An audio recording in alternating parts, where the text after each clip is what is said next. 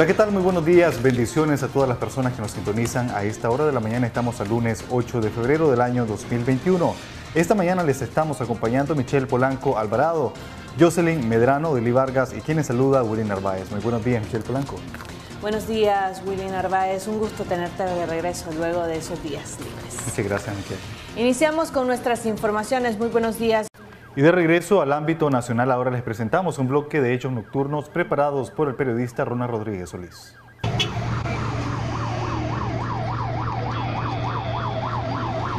El motociclista Moisés de 35 años sufrió fractura expuesta en una de sus piernas anoche tras ser impactado por un carro que era conducido por un joven de aproximadamente 20 años, quien fue señalado por testigos de ingresar a la carretera lanzándose los tres carriles al mismo tiempo hasta provocar el percance. Venía saliendo del residencial Campo Bello y se tiró los tres carriles. Desgraciadamente no miró que mi primo venía en el carril pegado al bulevar, impactándole en la parte izquierda del, del Hyundai que anda él y ustedes ya vieron pues cómo va la fractura expuesta, lleva el hueso desbaratado de la, de la rodilla hacia abajo. Navarrete resultó con piel desprendida, parte de esta quedó incrustada en el bumper del auto. Los técnicos en emergencias médicas se encargaron de asistirlo y trasladarlo a un centro hospitalario, mientras agentes de tránsito investigarían el nivel de responsabilidad de ambos implicados.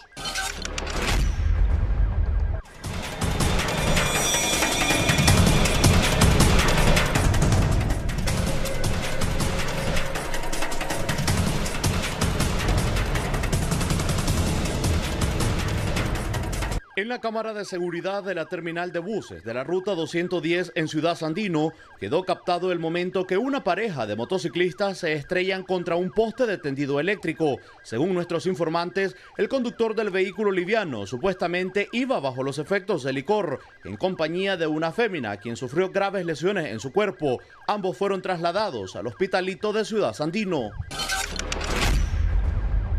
Con serias lesiones en su cuerpo, terminó un hombre de aproximadamente 40 años después de caer a un cauce de más de dos metros de profundidad, ubicado en el costado oeste de Enaba Central en Carretera Norte. Él se subía, la, se, se, se, tiró a este lado y se agarraba del palo. O sea, eh, hubo un momento que él se soltó y se vino hacia abajo.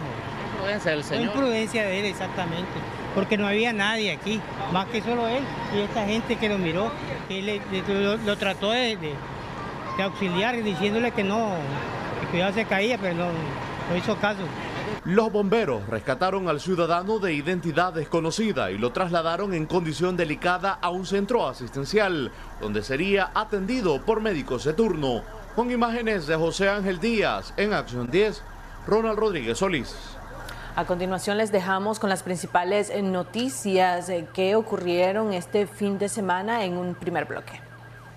El guarda de seguridad del lugar donde trabajaba Carmenza Hernández Godínez, la jovencita que este recién pasado sábado fue encontrada muerta en un hoyo, cubierta con troncos de madera y un saco, cerca del mercado de queso en el municipio de Río Blanco, es el asesino confeso de este crimen, detalla la nota de prensa brindada por la Policía Nacional, donde informan sobre la captura de Dolcin Ebenor Centeno Centeno, quien confesó haber dado muerte utilizando un cuchillo a la mujer de 18 años. El individuo también fue señalado por familiares de la fallecida. Se conoció de manera extraoficial que le ocasionó siete heridas entre su cuello y tórax, siendo un shock hipovolémico la causa de su muerte, provocado por lesiones con arma blanca, determinó el médico forense. Pido justicia por eso, porque en realidad nunca nos esperamos esto que fuera a pasar. ¿Qué supieron anoche ustedes? Anoche, hasta hoy a la una de la tarde, la, el papá encontró el cuerpo allá atrás del, de la bodega. Sí, ¿Esperan que se haga justicia? Sí, todo el peso de la ley. No se metía con nadie, muy trabajadora, muy humilde. Somos una familia muy humilde nosotros. ¿No sospechan de nadie hasta el momento? Dicen que están detenidos, pero la mamá, sí, ya, ya hay detenido y la mamá sospecha también de los CPF, porque si había CPF en ese lugar es porque ellos deben de saber. ¿Adentro dicen algunos que hay alguna cosa que quebraron o no, no la Sí, hay sangre regada, dicen, baldes de aceite, todas cosas así. Adentro de la casa. Adentro de allí. La mataron, pues sí. Y aquí el único culpable, sospechoso, el guardia de seguridad porque es el único que estaba aquí. La última vez que la familia de Carmenza supo de ella fue el viernes, cuando les realizó una llamada y los alertó de estar en peligro. Hizo una llamada a las cuatro que miraba, te dice que estaba con miel, que miraba, dice que algo le iban a hacer, solo eso dijo, pero no dijo más nada. ¿A qué hora salió ella? Dice el CPF que salió a las cuatro porque nosotros venimos de madrugada cuando nos llamaron que ella no había llegado y todas las cositas están allí de ella. Carmen era habitante del barrio Lindavista en el municipio de Río Blanco y sería la quinta víctima de femicidio en los primeros dos meses de este año. Según Católicas por el Derecho a Decidir, en el mes de enero se reportaron cuatro mujeres víctimas de la violencia machista. Con información e imágenes de David Mendoza, Xochil Mendoza, Acción 10. Frente a una barbería a la orilla de la carretera fue encontrado muerto este ciudadano que identificaron como José Carmelo Martínez Obregón de 43 años. A eso de las 5 de la mañana de este domingo en la comunidad del Jobo en el municipio de Matiguas. Lugareños aseguran que el hombre trabajaba como agricultor en una finca cercana y salió a ingerir licor la noche del sábado. Aparentemente dicen que fue como eso de las 10 a las 11 de la noche, donde se ve, se ve que tiene un una herida en la cabeza. No se sabe específicamente si fue con un machete o fue con un garrote o con tubo, no se sabe. Según el dictamen del médico expresa que la víctima presentó dos heridas en la parte frontal y una herida con perforación del cráneo, además de una herida en la parte temporal derecho. También determinan que las causas de la muerte fueron por heridas con arma blanca y un objeto contuso que le causaron un trauma cráneoencefálico. Agentes de criminalística de la Policía Nacional se presentaron al lugar haciendo uso de la técnica canina en busca de pistas que den con el responsable de este crimen. Xochil Mendoza, Acción 10. Alarmados se encuentran los pobladores del barrio Rosario Murillo tras el hallazgo de un cuerpo sin vida con la identidad aún desconocida en las orillas de una de las calles, lugar donde la policía están realizando las investigaciones para descartar mano criminal.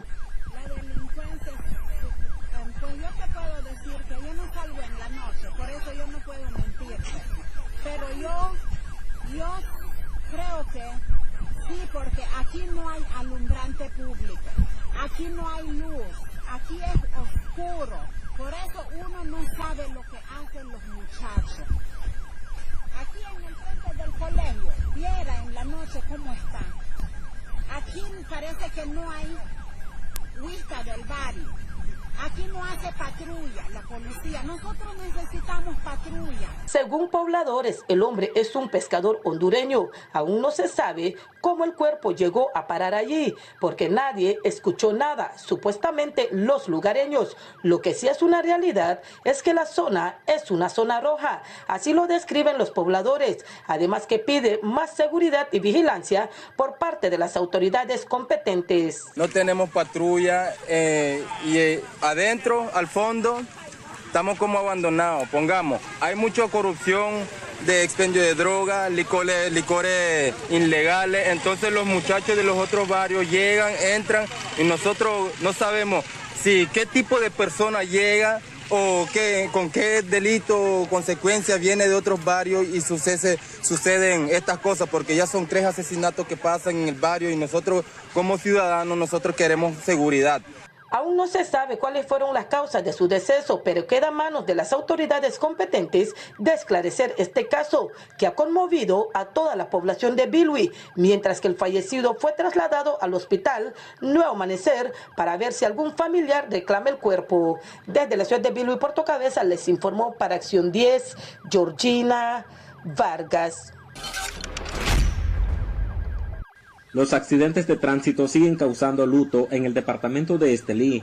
Esta vez se trata del joven estudiante de la carrera de Ingeniería Agropecuaria Diógenes Eliezer Martínez Palacios, de 19 años, quien murió al colisionar la motocicleta que conducía contra este camión volquete. Él venía de, norte a sur. El problema fue que de como a las 50 balas se me metió y yo no pude hacer nada más que frenar el camión. Yo lo hubiera podido haber capeado, lo capeo, claro que sí, porque no estamos para eso, pues. Nosotros estamos trabajando, estamos sacando material de, aquí de un banco. ¿En qué pegó? Él pegó en el bumper del camión delantero. Alberto Romero Subalvar. El hecho se registró cerca del campus médico San Lucas, a la altura del kilómetro 154 de la carretera panamericana al norte de la ciudad de Estelí. Miembros del cuerpo de bomberos y de la Cruz Roja se movilizaron al lugar, pero lamentablemente la víctima ya no tenía signos vitales. Volvió a ver para abajo, a los pies de la motocicleta, y, y instantáneamente perdió la vista y se salió de la vida y se, se le metió al pulmón. Cuando nosotros lo bajamos del vehículo, eh, a recorrido a ver si estaba con signos vitales, ya estaba totalmente muerto. Tenía un poco de exceso de velocidad el muchacho. La motocicleta producto de la colisión se partió en dos. El jovencito fallecido se dirigía de la universidad hacia su vivienda en el barrio José Santos Celaya, en el Diamante de la Segovia. Con este caso ya suman cinco personas muertas a causa de accidentes de tránsito en el departamento esteliano durante lo que va del año 2021. En Estelí, Juan Francisco Dávila, Acción 10. Una mujer identificada como Argentina Méndez de 53 años murió camino al hospital Amistad Japón Nicaragua de Granada, luego que el taxi en el que viajaba como pasajera fuera impactado brutalmente por una camioneta cuya conductora se dio a la fuga. Mientras que el taxista identificado como Francisco Rufino Sánchez fue trasladado por miembro de la Cruz Roja en estado delicado al Hospital Humberto Alvarado de Masaya. Según testigos que presenciaron la tragedia vial y que dieron persecución a la señalada, adujeron que la mujer manejaba en estado de ebriedad y que en el afán de escapar trataba de atropellar todo a su paso, pero por fortuna lograron captar el número de matrícula que corresponde a M300123. Y estaba el muchacho ahí pidiendo auxilio porque si eran la camioneta.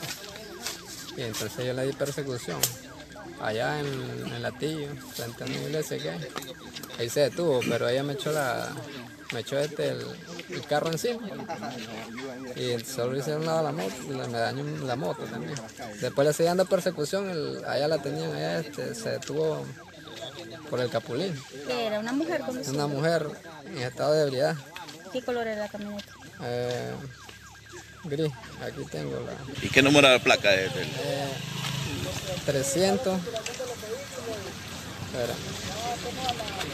300 M 300 123. Color gris. Color gris. El mortal accidente se registró en la última bajada de la laguna de apoyo, hasta donde llegaron agentes de tránsito para determinar las causas de la tragedia y con el número de placa de la camioneta, dar con el paradero de la irresponsable conductora. Desde Masay informó para Acción 10, Martín Orozco.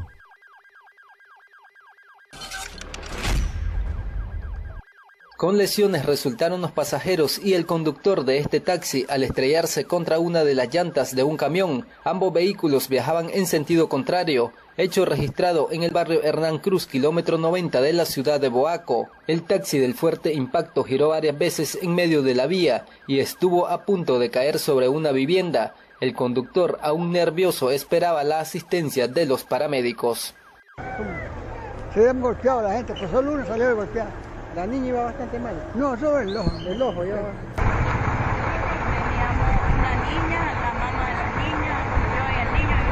Ah, venía allí en el taxi completo. El conductor del vehículo taxi fue identificado como José Alfredo Miranda, quien se dirigía rumbo al empalme de Boaco, y según testigo fue quien invadió el carril, pero serán agentes de tránsito que determinen la culpabilidad de los involucrados.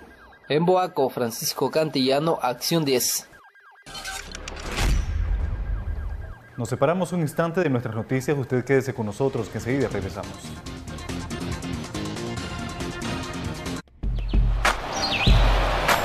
Ya regresamos con Acción 10 en la mañana. Continuamos con Acción 10 en la mañana.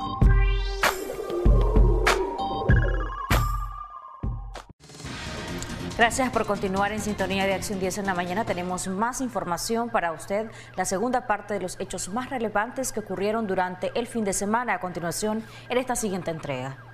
La mañana de este domingo último se llevó a cabo en la sede central del PLC 380 la verificación de la Junta Directiva Departamental de dicho partido, acto en el cual estuvieron presentes diferentes líderes territoriales. María Aide Osuna, presidenta y representante legal, manifestó que están abiertos a agruparse para unir esfuerzos contra el actual gobierno. Nosotros no estamos cerrados en hacer alianza con los diferentes movimientos, ya sea partidos políticos. Nosotros no vamos a obligar a nadie. Y yo lo he dicho. En su momento yo voy a decir con quienes me he reunido y la posición de ellos.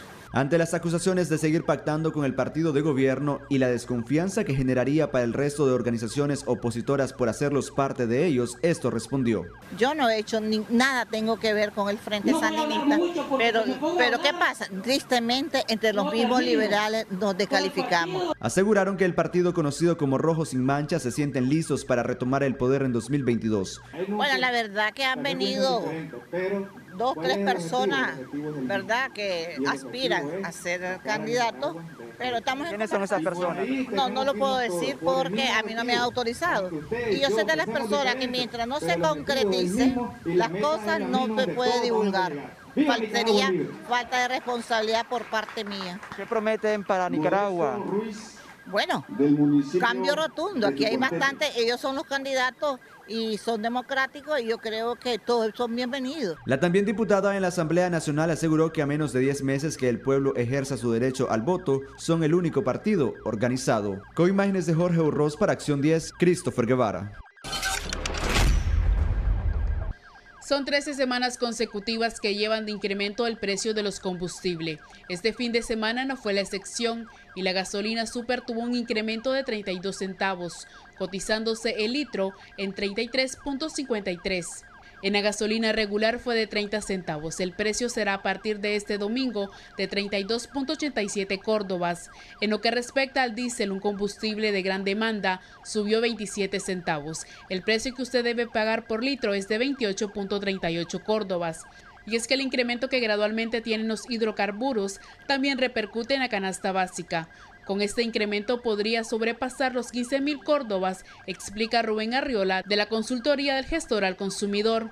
El alcista de los precios derivados del petróleo inciden prácticamente en la canasta básica nicaragüense.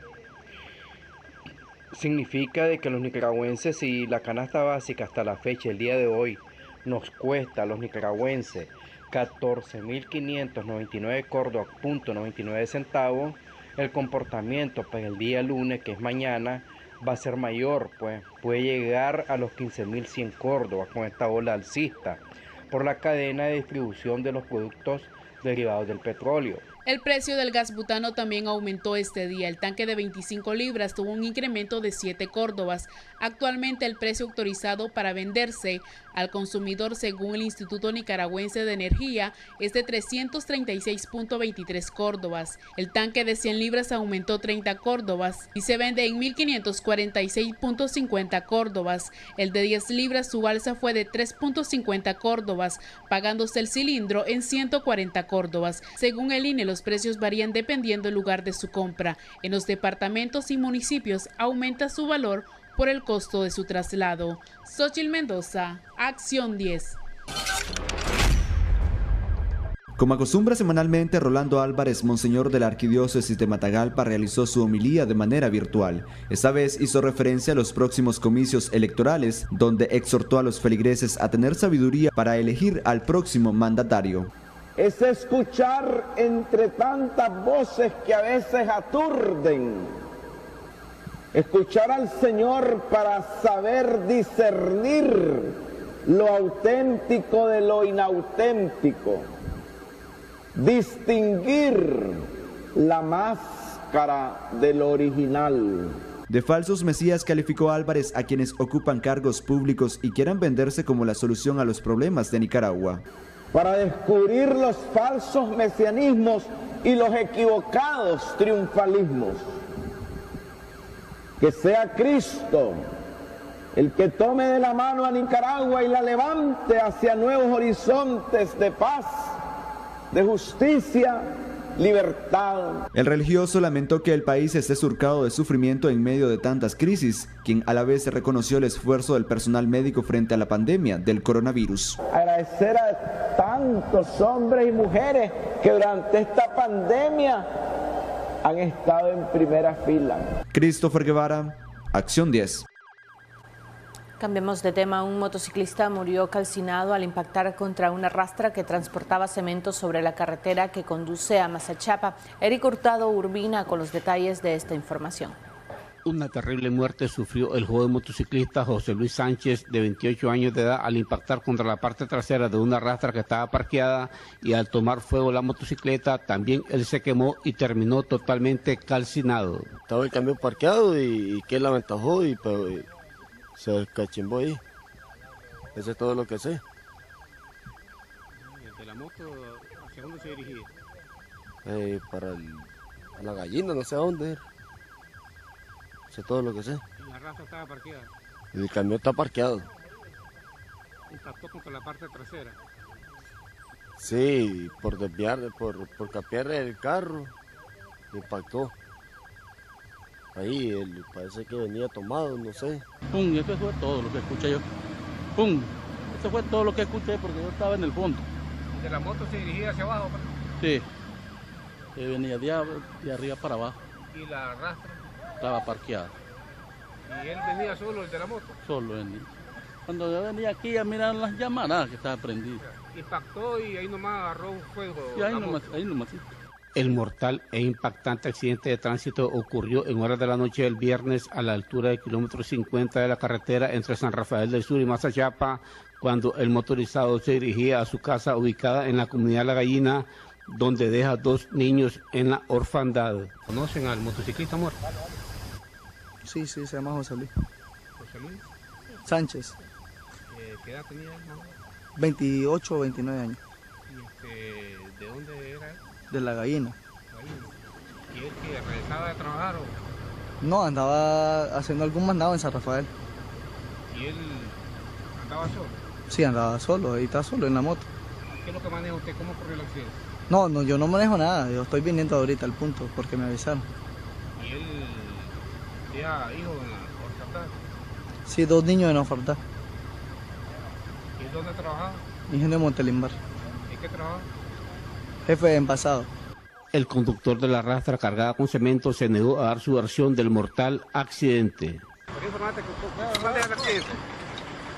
La Policía de Tránsito de San Rafael del Sur se presentó a levantar el croquis y realizar respectivas investigaciones. Nuestras condolencias a los familiares de José Luis Sánchez y fortaleza en nuestro Padre Celestial. Les informó en Acción 10 Eric Hurtado Urbina. Y siempre sobre tragedias viales, una joven de 17 años de edad falleció al ser impactada por un camión. Esto ocurrió en el kilómetro 6 de la carretera sur. Veamos el desarrollo de esta trágica noticia con Xochitl Mendoza. Bajo las pesadas llantas de un camión murió una joven de 17 años la mañana de este día en las inmediaciones del kilómetro 6 de la carretera sur, frente a donde fue el hospital Fernando Vélez Pay. La fallecida fue identificada con el nombre de Yaciel Nagaí Martínez Suárez, quien aparentemente intentaba cruzar la peligrosa intersección de oeste a este. Se resbaló y las pesadas llantas del camión Mercedes-Benz, conducido por el señor Guillermo Corrales Zelaya, de 73 años de edad, pasaron sobre su cabeza. Se presume que la oxisa era habitante del barrio Ayapal y se dirigía a una universidad cercana de donde ocurrió el fatal accidente. Su cuerpo fue trasladado al Instituto de Medicina Legal, mientras que el conductor a las celdas del Distrito 3 de la policía. Con imágenes de Roger Sánchez, Xochitl Mendoza, Acción 10. Dos motociclistas lesionados fue el resultado de un accidente de tránsito que ocurrió exactamente en el municipio de Río Blanco. David Mendoza, nuestro corresponsal en la zona, tiene los detalles. Dos personas resultaron lesionadas al chocar con sus motocicletas en el empalme de Guanaguana, carretera Río Blanco, Mulucucú. No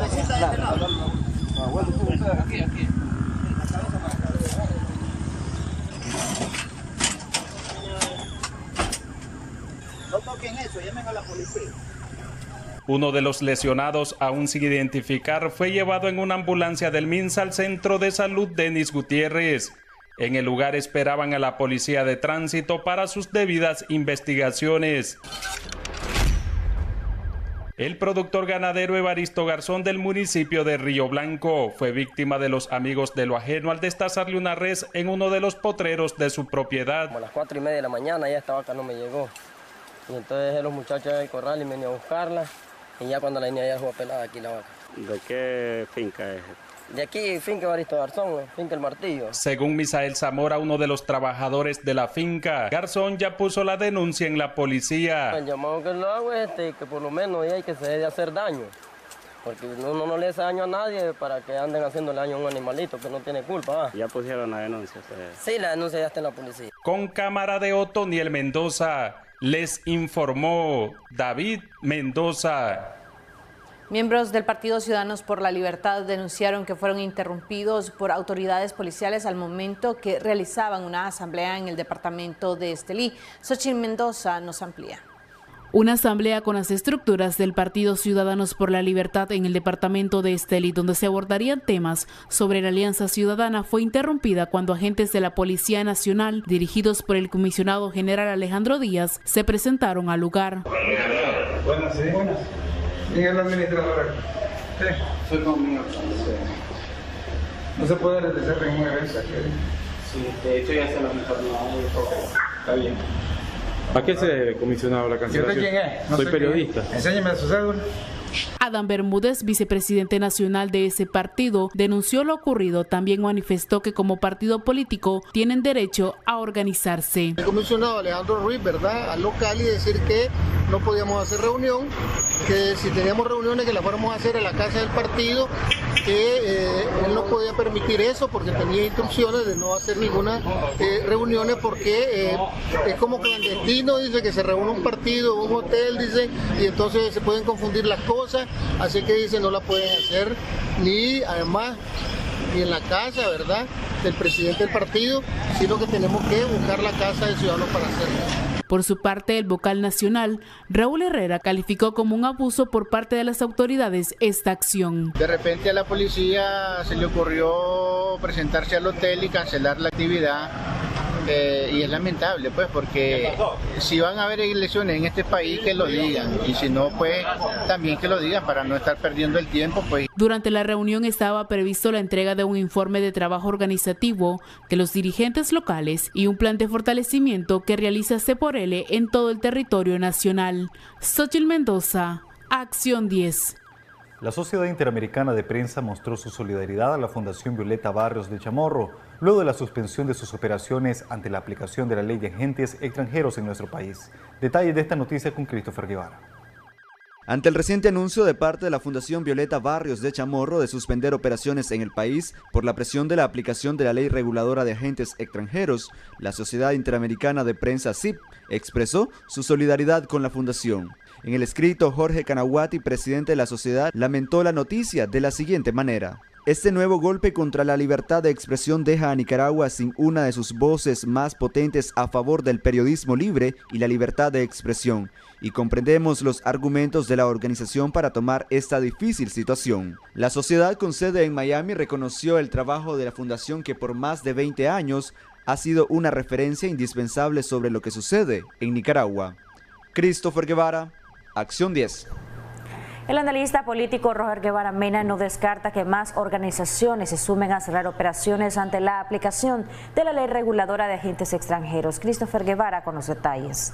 Va a traer como consecuencia el cierre de algunas de las representaciones extranjeras que tienen por objetivo la capacitación cívica, la muy poca y escasa que ha dejado la comunidad internacional. Eso es lo que considera el analista político Roger Guevara Mena que podría suceder en días próximos ante la aplicación de la ley reguladora de agentes extranjeros en Nicaragua. Además, aseguró que el presidente Daniel Ortega pretende con dicha ley excluir a las organizaciones que velan por los derechos humanos, dejando sin soporte a sus integrantes para seguir funcionando. Es lo que pretende el gobierno, eh, ser un filtro y decidir quién qué dinero entra y cuál no entra y seguramente que el que entra que puede ser ilícito en muchísimas ocasiones va a entrar con toda facilidad Guevara Mena aconsejó a las organizaciones búsqueda de apoyo internacional para presionar en el contexto de elecciones presidenciales a celebrarse en noviembre próximo. Creo que es importante que este tipo de organismos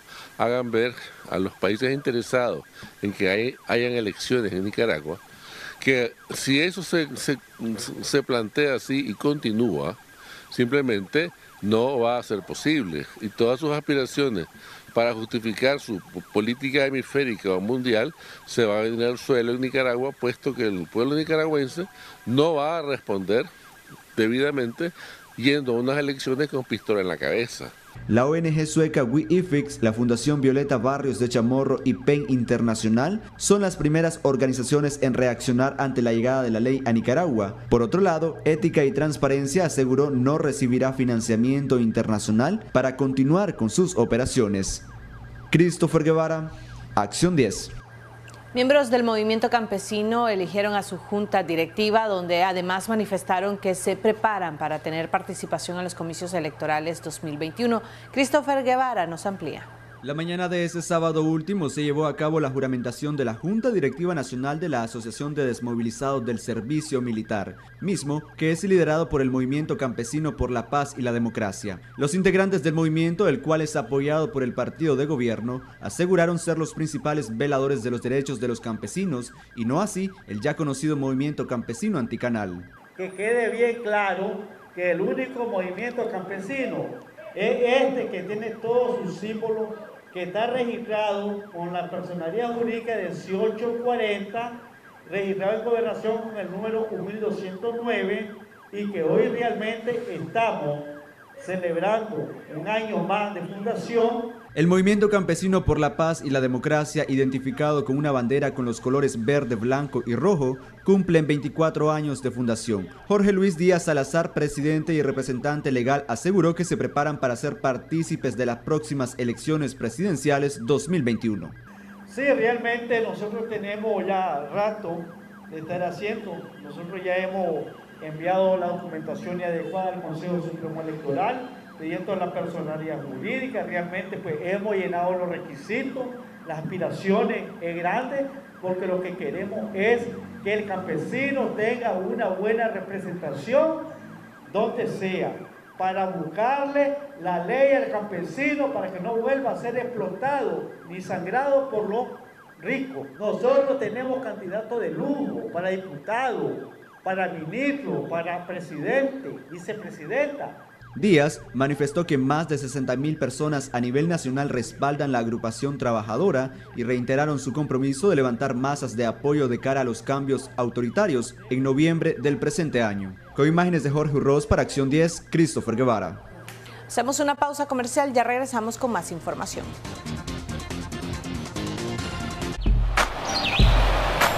Ya regresamos con Acción 10 en la mañana. Ética y Transparencia anunció que no se inscribirá como agente extranjero debido a que no aceptará cooperación financiera internacional. Michelle Polanco Alvarado nos amplía. A través de una nota de prensa, Ética y Transparencia informó que dejará de recibir cooperación externa y trabajará con donaciones de personas nacionales. En el comunicado expresa que la ley Putin y su normativa buscan inhabilitar los derechos individuales, civiles y políticos de cada nicaragüense que el Ministerio de Gobernación considere como agente extranjero por recibir financiamiento externo. De hecho, nosotros observamos elecciones municipales, regionales, presidenciales y de cualquier tipo. Y el financiamiento internacional casi siempre solo vino para las elecciones presidenciales. Para las municipales, la gente lo hacía porque le gusta, porque son interesados en, la democracia, en la ciudadanía, y entonces tenemos una base de datos de 30 mil personas que probablemente ni siquiera tengas que usar tantas de ellas para hacer un ejercicio de observación. Respecto a la observación electoral, el organismo informó que cuenta con 15 mil dólares para realizar la tarea de observación en los próximos comicios generales en noviembre de 2021. Eh, eh, Daniel decidió prohibir el financiamiento externo para hacer algo que la Constitución permite y lo único que te puso el limitante es con qué tipo de dinero, con qué tipo de vocación lo puedes hacer.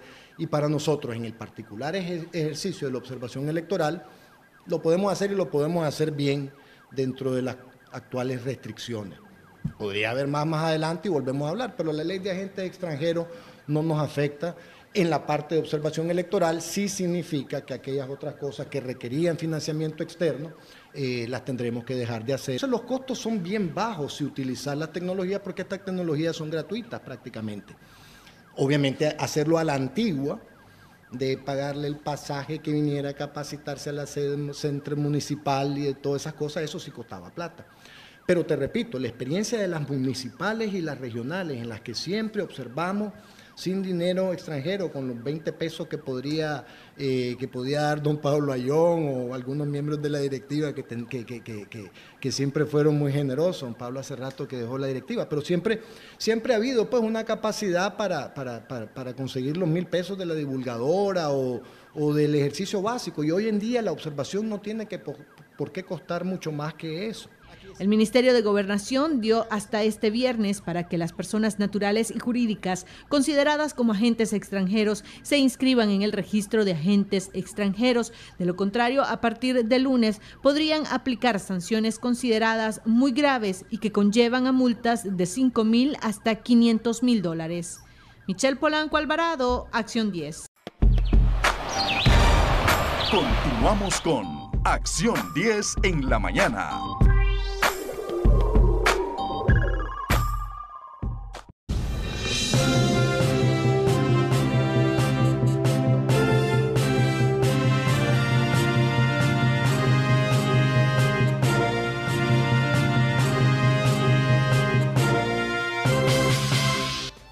Vamos a hablar en debates y soluciones hoy día de algo que muchos nicaragüenses se están preguntando y es respecto a las vacunas en nuestro país para contrarrestar COVID-19.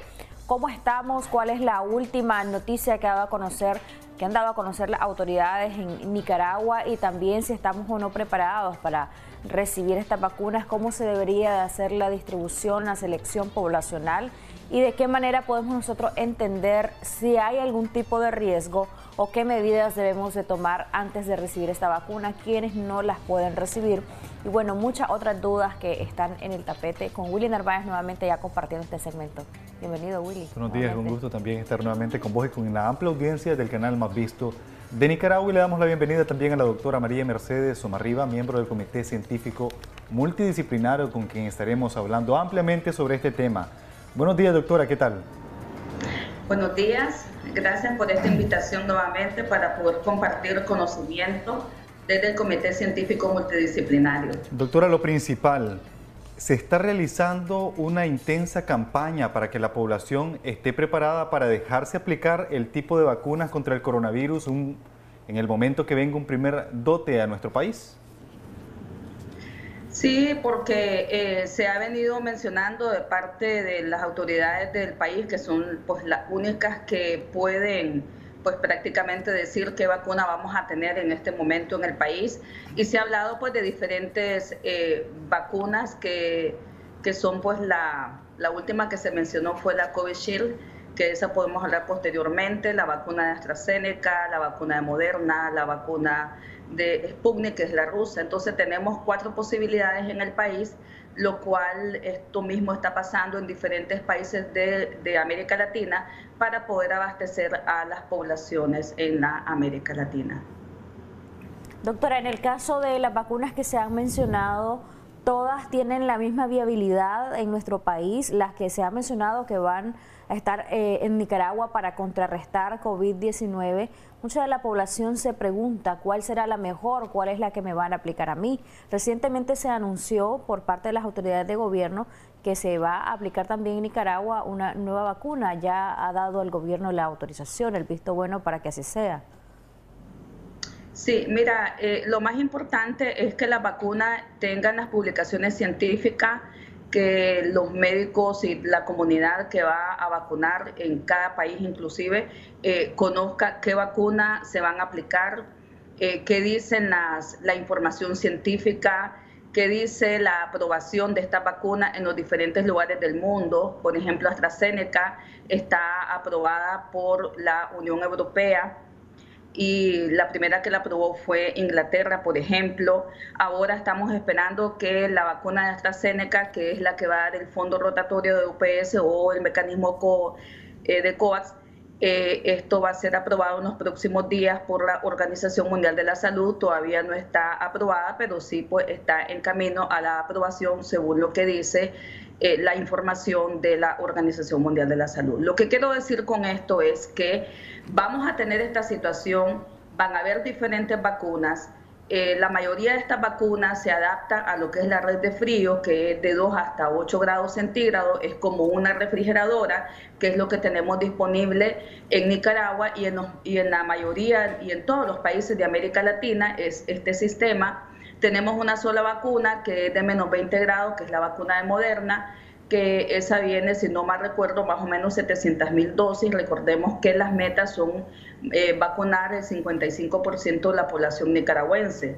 Entonces, eh, con las diferentes vacunas se pudiera llegar a vacunar al 55% en términos de, de, tiempo. No sé cuánto tiempo será la meta para, para Nicaragua, pero eh, se dice que se pudiera estar alcanzando durante más de un año la meta para todo la población, para la población meta, valga la redundancia. En este caso, doctora, las prioridades siempre siguen siendo, y esto lo estamos viendo en todos los países, que es el personal de salud, el grupo prioritario para al momento que están suministrando las vacunas a la población. Pero en esto también caben las personas de la tercera edad. ¿Qué sucede con aquellos grupos que son los que menos presentan coronavirus? Hablamos de los niños y también los adolescentes. Bueno, en cuanto a los niños, no hay en este momento vacunas aprobadas. Entonces los niños no están dentro de la cartera a vacunar, dentro de la población meta a vacunar en este momento y en el mundo entero. Ahorita la vacunación está dirigida exclusivamente a los adultos. Y si hablamos desde el punto de vista científico, los estudios, la mayoría de los estudios se han hecho en mayores de 18 años de edad, no en niños. Ahora, esperemos que el cuerpo eh, de atención médica en salud, enfermeras, trabajadoras de la salud, eh, médicos residentes que están formándose en este momento en sus diferentes especialidades, médicos de base, enfermeras, directivos, todos los que están en el sector salud atienden directamente a la población, sean honrados de ser los primeros en ser vacunados tal cual se está haciendo en los diferentes países ya en América Latina. Doctor, en aquellos grupos poblacionales nos preguntan eh, justamente para los de la tercera edad, ¿en quiénes estaría contraindicado esto de cualquiera de las vacunas en nuestro país? Bueno, en general, la mayoría de las vacunas se estudiaron en población de 18 a 55, 60 años de edad. Aún están corriendo los estudios en este preciso momento para poblaciones mayores de 60 años de edad. Por ejemplo, la vacuna Sputnik está corriendo para mayores de, en este momento, para mayores de 60 años de edad y ya en Argentina se está comenzando a vacunar para personas mayores de 60 años de edad. Lo que es la vacuna, por ejemplo, de AstraZeneca, se estudió en la mayoría de los pacientes entre 18 y 55 años de edad, pero también AstraZeneca tiene población estudiada, poquito, pero la tiene de más de 70 años de edad y tiene también población estudiada de más de 55 años de edad a 69 años de edad. Eso más o menos representa de todo el estudio de AstraZeneca, que es la vacuna que nos va a venir a través del fondo de la Organización Mundial de la Salud, eso representa más o menos en los estudios científicos aproximadamente el 10%, el 11% en los diferentes países que se ha estudiado esta vacuna. Es un ejemplo, la vacuna de AstraZeneca. Es un ejemplo que fue estudiado en Brasil, en Sudáfrica y en Inglaterra también. Entonces, estos son los datos que tenemos. En cuanto a Sputnik, eh, igual manera se están corriendo los estudios y tenemos la vacuna de Moderna también. Entonces, todas estas edades, inclusive patologías o enfermedades asociadas como diabetes hipertensión, aún se están corriendo. No hay que olvidar que aún estas vacunas están en tercera fase de investigación eso no hay que olvidarlo. Y que todos los aprobados son aprobados de emergencia. Todos los aprobados en casi todos los países del mundo son aprobados de emergencia por la situación de la pandemia. Vamos a tener más resultados en el futuro sobre estas vacunas. Doctora, hay vacunas. Sin embargo, vemos de que la tasa de mortalidad continúa en aumento en todos los países, principalmente Estados Unidos, Brasil y otros por mencionar. ¿En realidad las vacunas han venido o en su momento llegarán a disminuir el índice de mortandad a nivel mundial? Eh, uno de los grandes objetivos de la vacuna, de los grandes objetivos de la vacuna es precisamente ese, que eh, lo que se ha visto hasta el momento es que todas las vacunas protegen para enfermedad grave y para mortalidad. Ese es el gran objetivo hasta cuánto protege la transmisibilidad. Hay algunas vacunas que ya están eh, estudiando la parte de la transmisibilidad, por ejemplo, donde va ahorita la vacuna de AstraZeneca, se dice que previene el 50% de transmisibilidad, eh, según los estudios reportados en Lancet. Pero eso todavía falta para estudiar en cuanto a la transmisibilidad. ¿Qué quiero decir con esto? Y quiero llegar a este punto que las vacunas todavía no se saben cuánto previenen la transmisibilidad de una persona a otra. Por lo tanto, quiero caer en la prevención que ya todos conocemos, 5 más 1, más 1 son las vacunas.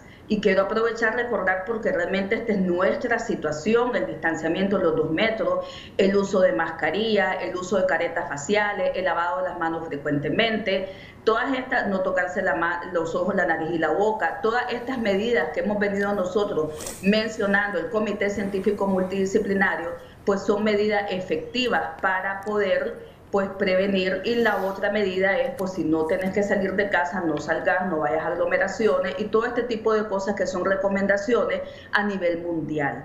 Y el más uno obviamente son las vacunas. La vacuna es una la vacuna es una respuesta global, pero que estamos en proceso. Eso es importante que lo tengamos presente. Estamos en proceso. Ya hay países que han comenzado en América Latina a vacunar, pero este es un proceso de selección de población, se lleva tiempo, capacitación al personal, o sea, es toda una organización. Nosotros en Nicaragua aún no conocemos la estrategia, quiénes van a ser vacunados primeramente, después, cuántas personas en total, cómo va a ir el calendario de vacunación, ¿verdad? a través del tiempo, todavía no lo conocemos, esperamos conocerlo pronto. Doctora, en materia justamente de salud pública, por ejemplo, ¿qué nivel de impacto tendría el, el hecho de vacunar a la población nicaragüense, sean estos los grupos poblacionales que seleccione o que orienten las autoridades qué impacto tendría esta vacunación en nuestro país, en la contención de la pandemia. He escuchado en una y otra vez que lo que están buscando con la vacuna es disminuir la letalidad de COVID-19, no así la parte del contagio. Lo que pasa es de que el único dato como fuerte que tenemos a mano en este momento, según los estudios científicos, es que eh, en el 100% impacta en lo que es la mortalidad y en lo que es los pacientes graves. Hasta en este momento lo que es la transmisibilidad todavía se está estudiando. O sea, yo no sé si yo me pongo la vacuna, por ejemplo, X, que me toque como personal de salud que atiende pacientes con COVID-19, eh, yo no sé si una vez vacunada que reciba una dosis y luego la segunda dosis a entre las cuatro y seis semanas después o doce semanas, depende del esquema que tenga el país, eh, yo voy a transmitir, me voy a infectar y voy a transmitir el virus, pero no me voy a enfermar. Yo no sé cuántas personas, no sabemos en el mundo científico cuántas personas van a tener esas vacunas, pero van a adquirir el virus y lo van a transmitir. Todavía no lo sabemos. Tenemos unos poquitos estudios que había dicho anteriormente, que puede evitar, por ejemplo, AstraZeneca, la vacuna AstraZeneca que tiene ese brazo estudiándose ahorita, que puede reducirse el 50% aproximadamente de transmisión, pero el 100% de no complicación. Entonces vamos a seguir todavía con las medidas preventivas todo este tiempo que nos hace falta hasta que tengamos la cobertura meta a nivel mundial de vacunar el 70% de la población y eso tiene que ser uniforme, no solamente tiene que ser en Nicaragua, tiene que ser en Costa Rica, en El Salvador, por toda la globalización en el mundo entero. Entonces, la meta es que las vacunas en el mundo entero, y ese es un punto, pero bien, bien delicado, llegue al 70% de la población porque estamos los países de bajos ingresos en comparación con los países de grandes ingresos donde ya las vacunas están compradas por los países desarrollados. O sea, esto ha pasado siempre históricamente con las vacunas, que los más poderosos, ellos son los que toman de antemano, desde antes de la fabricación, pues la vacuna. Por eso es que existe el mecanismo COVAX de la Organización Mundial de la Salud para poder ayudar a la equidad de la distribución de la vacuna en el mundo entero. Doctora, ¿cómo desaparecer ese temor de la población para que al momento que sean aplicadas este tipo de vacunas puedan acceder y no tengan ningún tipo de temor? Eh, ¿Temor en qué sentido? Te devuelvo la pregunta. Claro, lo que, lo que, pasa es que a algún tipo de sondeo que hemos realizado incluso en este mismo canal, al preguntarle a la población si estarían dispuestos a que les pongan este tipo de vacunas, dicen que no, que mejor prefieren usar mascarilla, mejor prefieren usar, seguir con las normas como el lavado de manos, distanciamiento, pero no aplicarse este tipo de vacunas por algún tipo de temor a que traiga efectos negativos o incluso pueda adelantarles la muerte. Bueno, voy a dar un poquito las reacciones adversas entonces de las reacciones que puede provocar la vacuna. Eh, no olvidar que hay muchas noticias falsas, eso es muy importante y hay que leer eh, estudios científicos y yo, nosotros sabemos que por eso somos invitados de parte del Comité Científico Multidisciplinario porque estamos revisando constantemente las publicaciones. Esa es nuestra, pues prácticamente misión, informar desde el punto de vista científico como comité. Los estudios hasta el momento, la mayoría, la mayoría de las vacunas, la mayoría de las publicaciones científicas en las revistas internacionales que están disponibles, inclusive que son libres en el Internet, que los artículos están liberados, no hay que comprar nada, solamente hay que meterse y buscar revistas científicas y poderlas pues leer. Entonces, para eso estamos de verdad aquí con ustedes en este momento. Reacciones adversas, ¿cuáles son las que se ha visto? Que se ha visto, por ejemplo, si hablamos de la vacuna Sputnik, vámonos a Argentina. 4% de la población ha tenido, de la población vacunada y estamos hablando de una población de miles de miles de miles de personas vacunadas han tenido reacciones adversas. Por ejemplo, ¿cuáles han tenido? Dolor de cabeza, dolor en el cuerpo, dolor en las articulaciones, fiebre, y eso dura aproximadamente dos días. Si dura más de dos a tres días, la persona está obligada a hacerse la prueba para la COVID-19, porque ¿qué sabemos? Si en el momento que te estás vacunando tenés incubándote el virus, no se sabe. Entonces, eh, las reacciones que se han visto de esta vacuna es precisamente esa. Si nos vamos a la vacuna de AstraZeneca, por ejemplo, igual, si uno lee las reacciones adversas, estas vacunas tienen esas reacciones comunes, dolor de cabeza, dolor en el cuerpo, dolor en las articulaciones, dolor en el punto de inyección, enrojecimiento en el punto de inyección, un poquito de malestar general, sí van a tener reacciones adversas, pero no son reacciones adversas graves. Esa es una gran ventaja de las vacunas que hemos pues, estudiado hasta este momento y que van a venir a Nicaragua. Entonces la invitación del día de hoy es, es más grave tener la enfermedad, eh, de tal manera que hay que prevenirlo, prevenir con lo que ya tú estabas diciendo, el lavado de manos, el distanciamiento de dos metros, el uso de mascarilla, el uso de careta, no ir a los molotes, no tocarse los ojos, la nariz y la boca, más la vacuna. Entonces, esas medidas, todas a la vez, van a ir ayudando poco a poco. Hay que vacunarse hay que vacunarse. La gente a veces dice, voy a esperar, eso ha pasado en Estados Unidos. Al inicio se vacunaron todo el personal médico que ha estado viendo pacientes complicados, los médicos, las enfermeras son quizás los que tienen más conciencia en este sentido de ver tan, la gravedad de la enfermedad.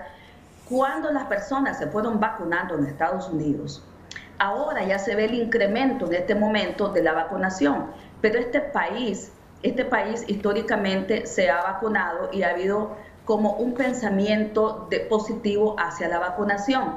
Lo que pasa es que estamos hablando de niños, ahora estamos hablando de adultos y esa es la gran diferencia de la vacunación. Ahora vamos a tratar con adultos, pero los adultos son más vulnerables que los niños, mueren mucho más, se complican mucho más los niños. Entonces, en este momento los niños van a estar quietos para la vacunación y solamente va a ser la población adulta, personal médico, mayores de 55 o 60 años de edad, gente que trabaja, por ejemplo, en escuelas que están muy expuestas a grandes cantidades de contacto. Eh, también se, menciona cuerpo eh, cuerpo, digamos, militar que esté en contacto con diferente población. Estoy hablando a nivel internacional pero los primeros son las personas que están en, frente eh, con la COVID-19, haciéndole eh, frente a la COVID-19. Así que no hay que tener miedo. La verdad es que las reacciones adversas que se han descrito son reacciones adversas leves. Si te toca a ti, que tienes más de 50 años de edad, tienes que vacunarte. Si sos médico o enfermera, tienes que vacunarte para tener un grado de defensa en tu cuerpo. Doctora, ¿quiénes no deben vacunarse? Por ejemplo, aquellos pacientes que tienen el sistema inmunológico deprimido o aquellos pacientes que tienen lupus, aquellos pacientes que tienen VIH, que están plenamente diagnosticados y llevan su tratamiento. ¿Está contraindicado para ellos o para qué grupos poblacionales definitivamente no se puede aplicar ninguna de estas vacunas? Bueno, estas vacunas, eh, siempre el personal que va a vacunar tiene que preguntar si ha tenido reacciones adversas eh, graves en cuanto a alergia, por ejemplo. Si es una persona que ha tenido una alergia importante, ha, ha tenido que ir al hospital, pues habría que considerar a esa persona si se vacuna o no. Si después de la primera vacuna da alguna reacción adversa, como alergia, por ejemplo, va a tener que reportarlo para valorar si se pone la segunda vacuna, cual sea, cual sea de las vacunas que tengamos disponibles en el país. También aquella persona que está muy enferma, que tiene fiebre, que no está en condiciones, porque el cuerpo tiene que estar en ese momento controlado. Si sos diabético, con diabetes controlada. Si sos hipertenso, con hipertensión controlada. Ahora, si tenés cáncer, pues habría que ver cuál va a ser la decisión de Nicaragua. En este momento no hay estudios en pacientes inmunocomprometidos. Apenas están comenzando, por ejemplo, los estudios con en pacientes que tienen VIH en Sudáfrica con AstraZeneca. Pero ya pues, hay estudios que están comenzando, pero en este momento una información contundente para pacientes que, que son inmunocomprometidos, o sea, que las defensas están muy bajas, bajas, en este momento no hay vacuna aprobada para esta población. ¿Va a haber después? Seguramente sí, es probablemente que sí. Pero también, por ejemplo, en Argentina hay grupos de expertos, de vacunólogos, que ellos han decidido de esta población que tiene la defensa baja, a quién se le puede aplicar sí y a quién no. Pero eso ya son equipos de comité asesores de inmunizaciones especializados que saben más de vacuna de tal manera, al final, en conclusión, la población que se va a estudiar, eh, que se va a vacunar, es la población pues más afectada, que son aquellas personas que tienen diabetes, hipertensión, personas mayores y personal de salud. Doctora, usted mencionaba el hecho de que estas vacunas todavía no están eh, hechas para que sean aplicadas a niños. Se ha hablado de que los niños también transmiten a los adultos, pero también dejó abierta la posibilidad que en algún momento científicos puedan desarrollar algún tipo de vacunas para este grupo. ¿Esto es así? Eh, sí, claro, así es. Por ejemplo, Pfizer ahorita está comenzando, Pfizer comenzó a, los estudios de Pfizer desde 16 años adelante, pero ahorita en este momento ya está teniendo, está elaborando estudios en niños. Entiendo que en niños de 12 años de edad en la India con una vacuna que se llama Covaxin. Ellos están estudiando niños en este momento, pero no es así algo masivo como la población adulta, sino que apenas comienzan algunos estudios para los niños. Eh, ¿Por qué? Porque también la población afectada, gravemente afectada, no han sido los niños. Entonces, el foco de atención ha sido los adultos. En cambio, si nosotros nos vamos a, las enfermedades inmunoprevenibles en los niños, por ejemplo, el sarampión, la rubiola, la parotiditis, que es la que se inflama eh, en las glándulas parótidas, ¿verdad? Que tenemos por aquí. Eso solamente es en niños. Eh, la vacuna de la meningitis, los niños son vulnerables a la meningitis. Eh, esa es la vacuna pentavalente que tiene el hemófilos influenza eh, tipo B en la vacuna, por ejemplo. Entonces, el mundo de las vacunas en los niños, por ejemplo, se da cuenta que en los niños hay más de 14 vacunas que se administran en la niñez. Eh, los niños son los más vacunados en el mundo y los que más hemos hecho prevención en el mundo entero. De tal manera de que como la población en este caso no es una población afectada, por decirlo así, gravemente afectada como los adultos, los niños no fueron una meta de estudios, como han sido en otras enfermedades como la meningitis, por ejemplo.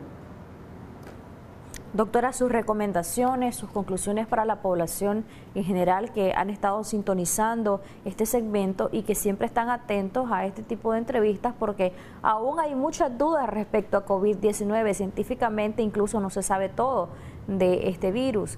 Y también hay dudas sobre la aplicación de las vacunas, el impacto que esto va a tener, hasta cuándo vamos a estar bajo las medidas. Ya usted lo decía, va a tomar bastante tiempo todavía, vamos a tener que seguir implementando las medidas, pero me gustaría sus conclusiones a la población nicaragüense que está todavía con ciertas dudas y que de algún modo entra en el miedo o entra en la negación del virus. Bueno, la primera recomendación al día de hoy es seguir con la prevención. La prevención que ya conocemos, el uso de la mascarilla de triple capa, el uso de careta facial que protege más, el lavado de las manos, el distanciamiento de los dos metros, no andar en molotes porque eso aumenta la transmisibilidad de la, enfermedad, ¿verdad? Y la vacuna. En cuanto a la vacuna, la recomendación es esperar, esperar y confiar.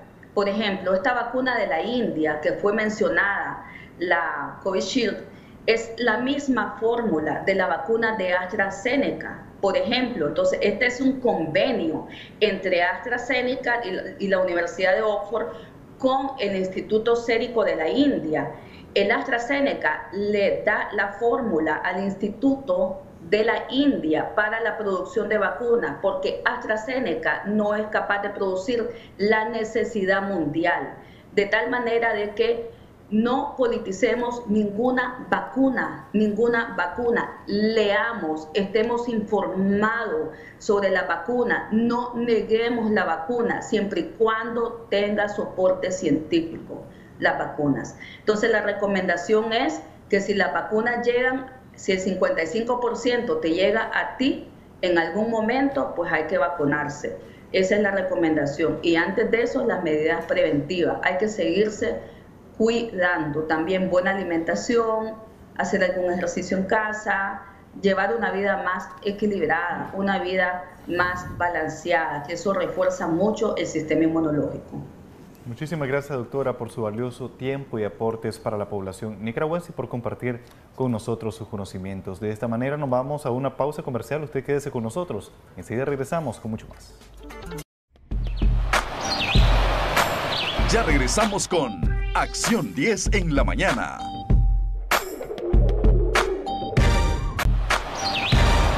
Continuamos con Acción 10 en la mañana.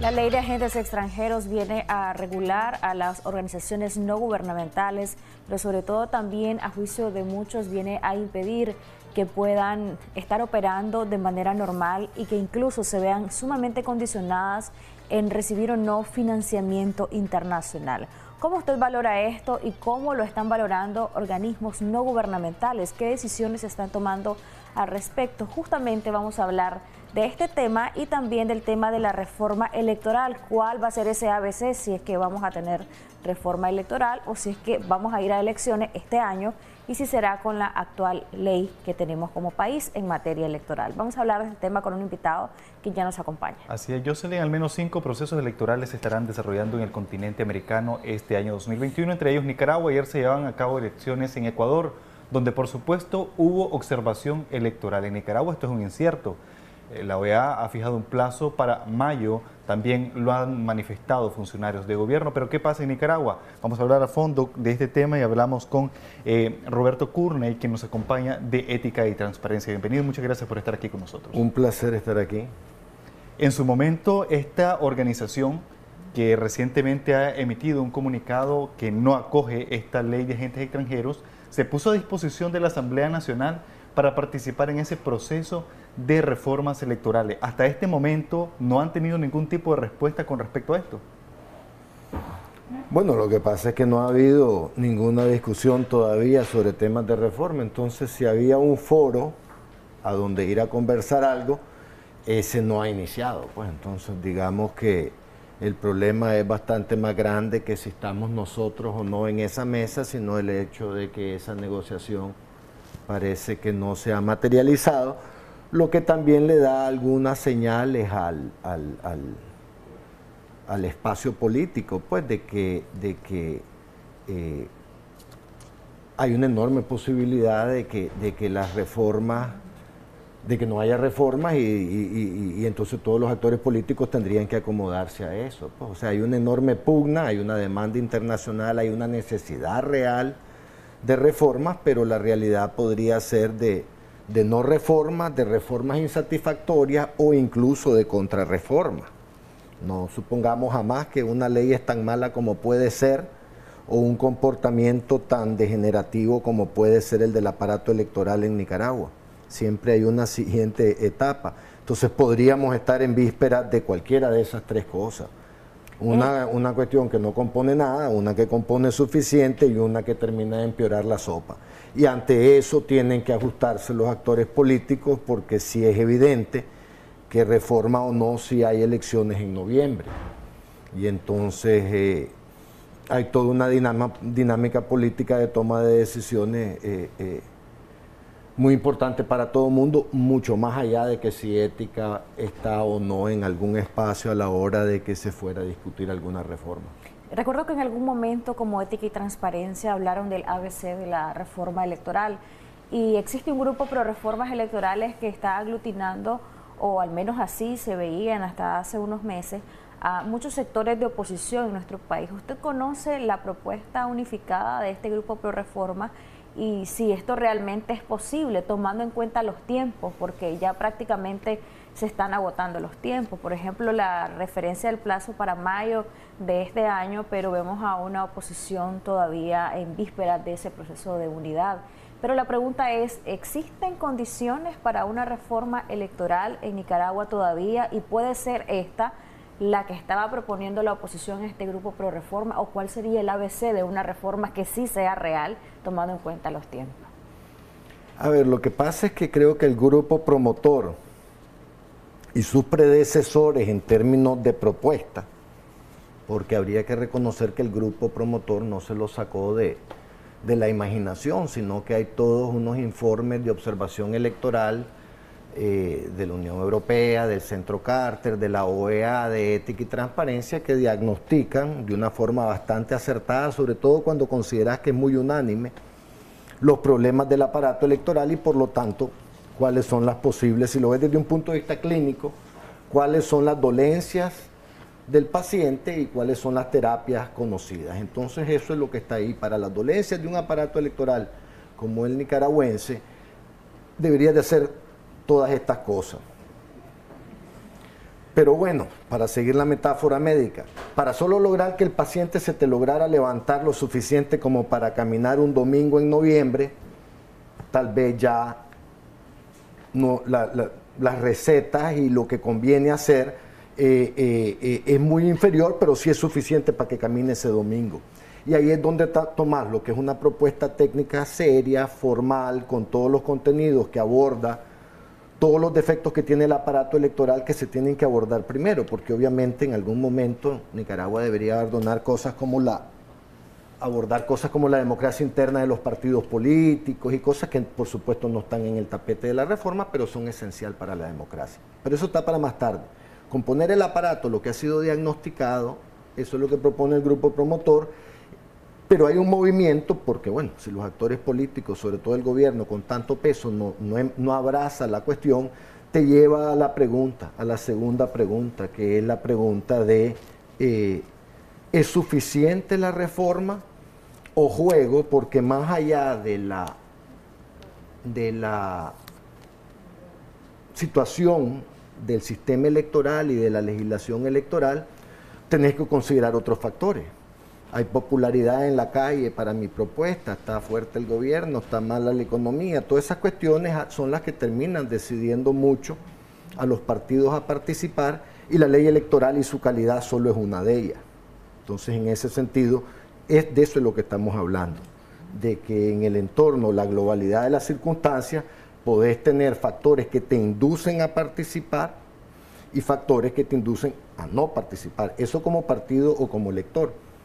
Por lo tanto, hay que dejar bien claro esa parte, pues que la propuesta del grupo promotor es buena, recoge todo lo que se ha planteado como defecto del aparato electoral y se ha recetado lo que mundialmente se recomienda para esos problemas, pero en el campo político, de participar o no participar y las cuestiones alrededor de, noviembre, ahí hay toda una valoración mucho más allá.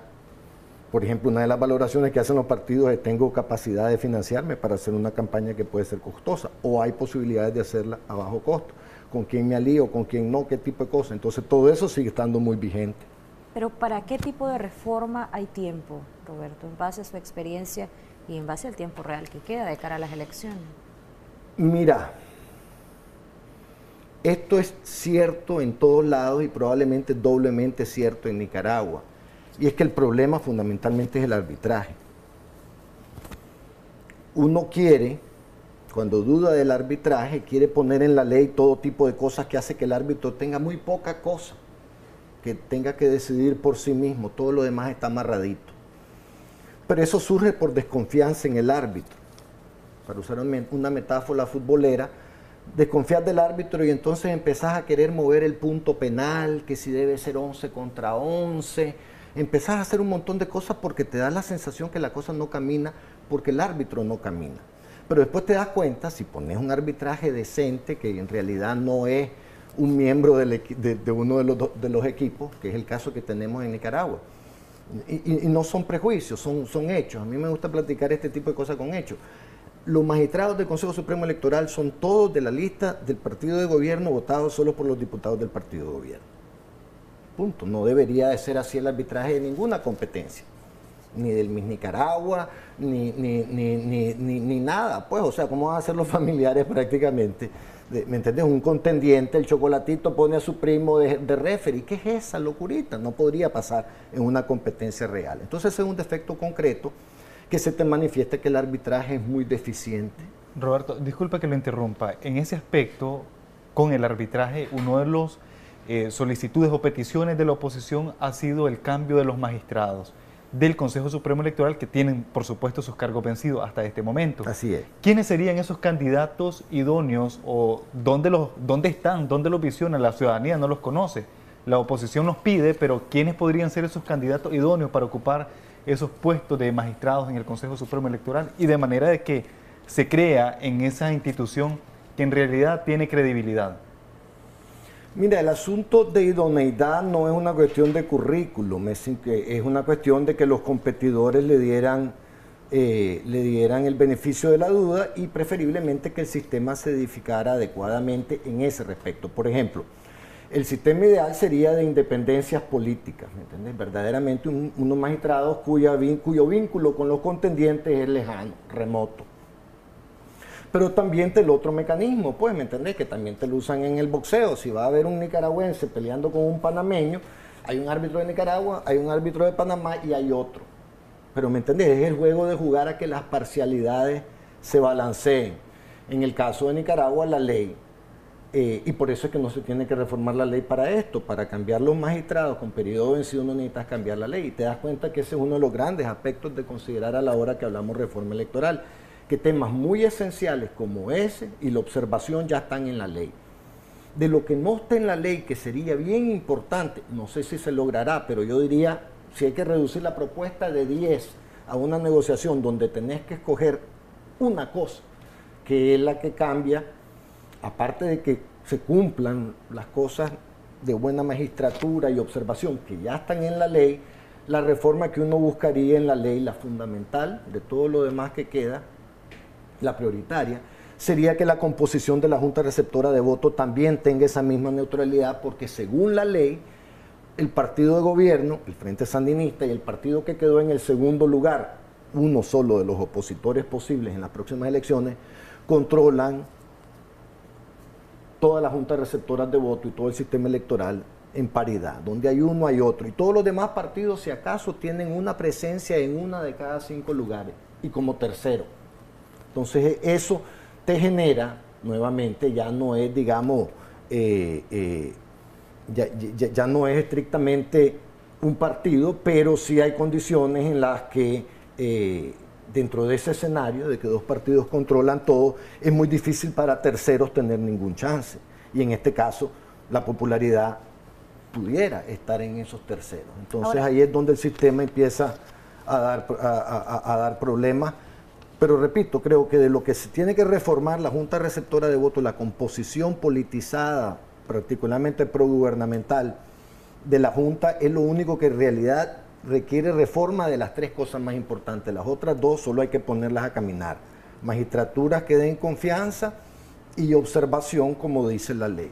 Los consejos electorales municipales y departamentales, por ejemplo, también debería de ser sustituido o bien balanceado este personal. ¿Esto cómo se puede hacer? ¿Se puede hacer con o sin reforma? No, sin reforma en realidad no se puede hacer porque las composiciones del aparato electoral, desde el centro electoral departamental hasta la Junta Receptora de Votos, en la ley dice que estarán compuestas de tres miembros.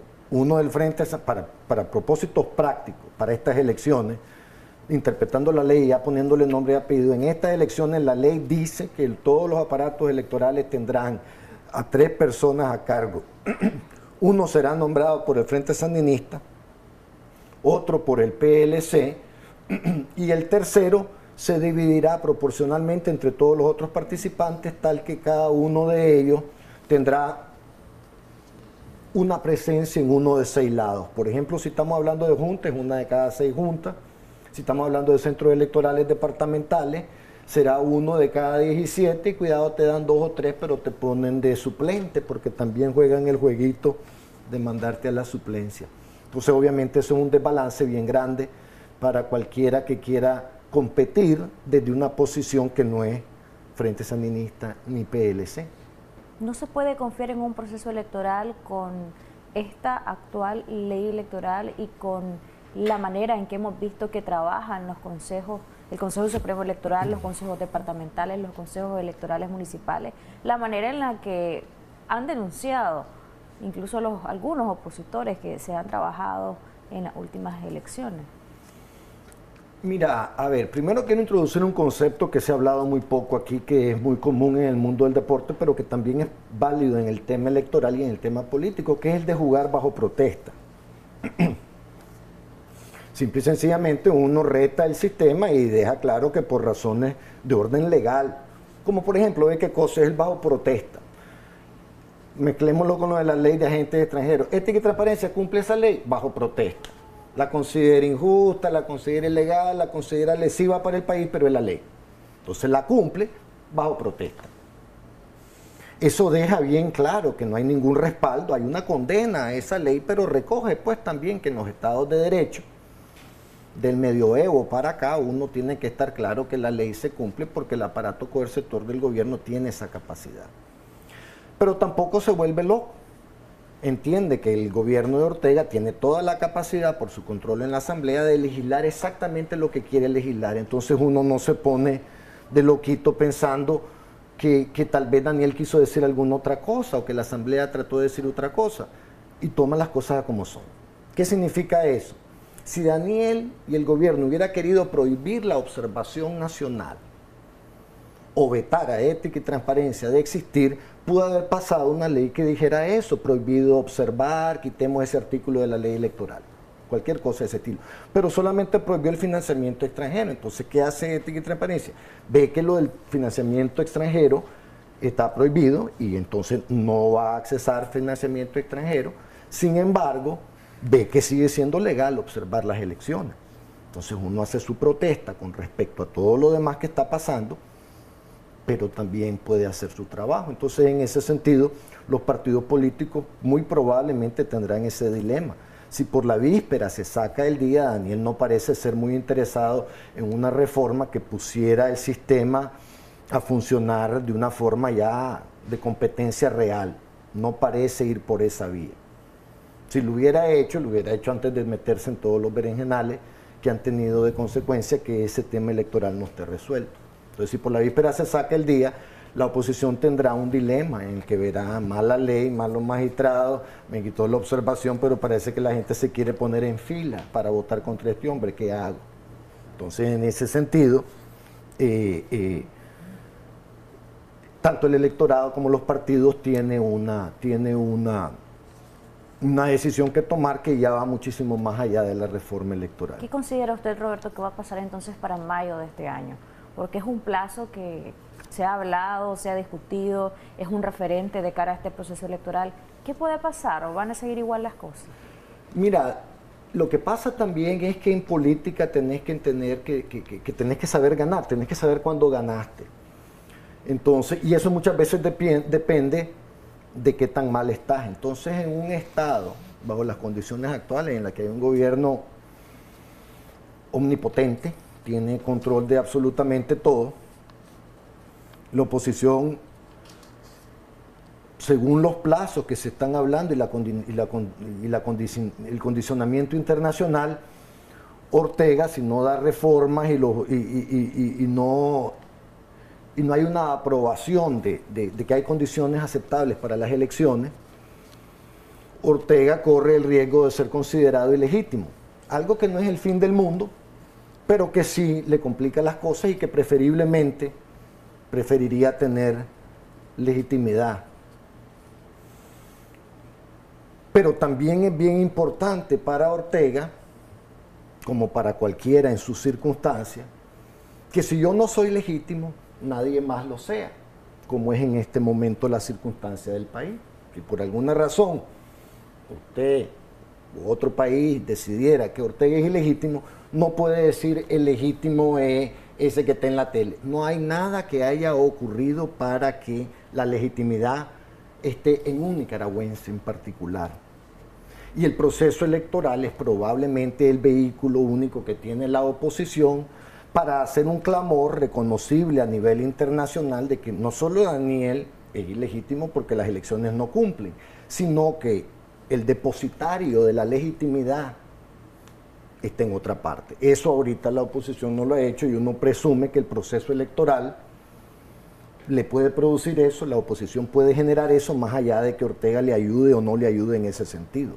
Entonces, existe, si uno ve en la historia y en los comportamientos recientes, los patrones de, comportamiento, hay una tendencia a que la oposición entiende que en el mejor de los escenarios ganara las elecciones, pero que también tiene un montón de victorias pequeñas que necesita empezar a hacer. Es decir, antes de pelear por el campeonato, tiene que hacer una calistenia, tiene que resolver a qué gimnasio va, cuál es su técnica.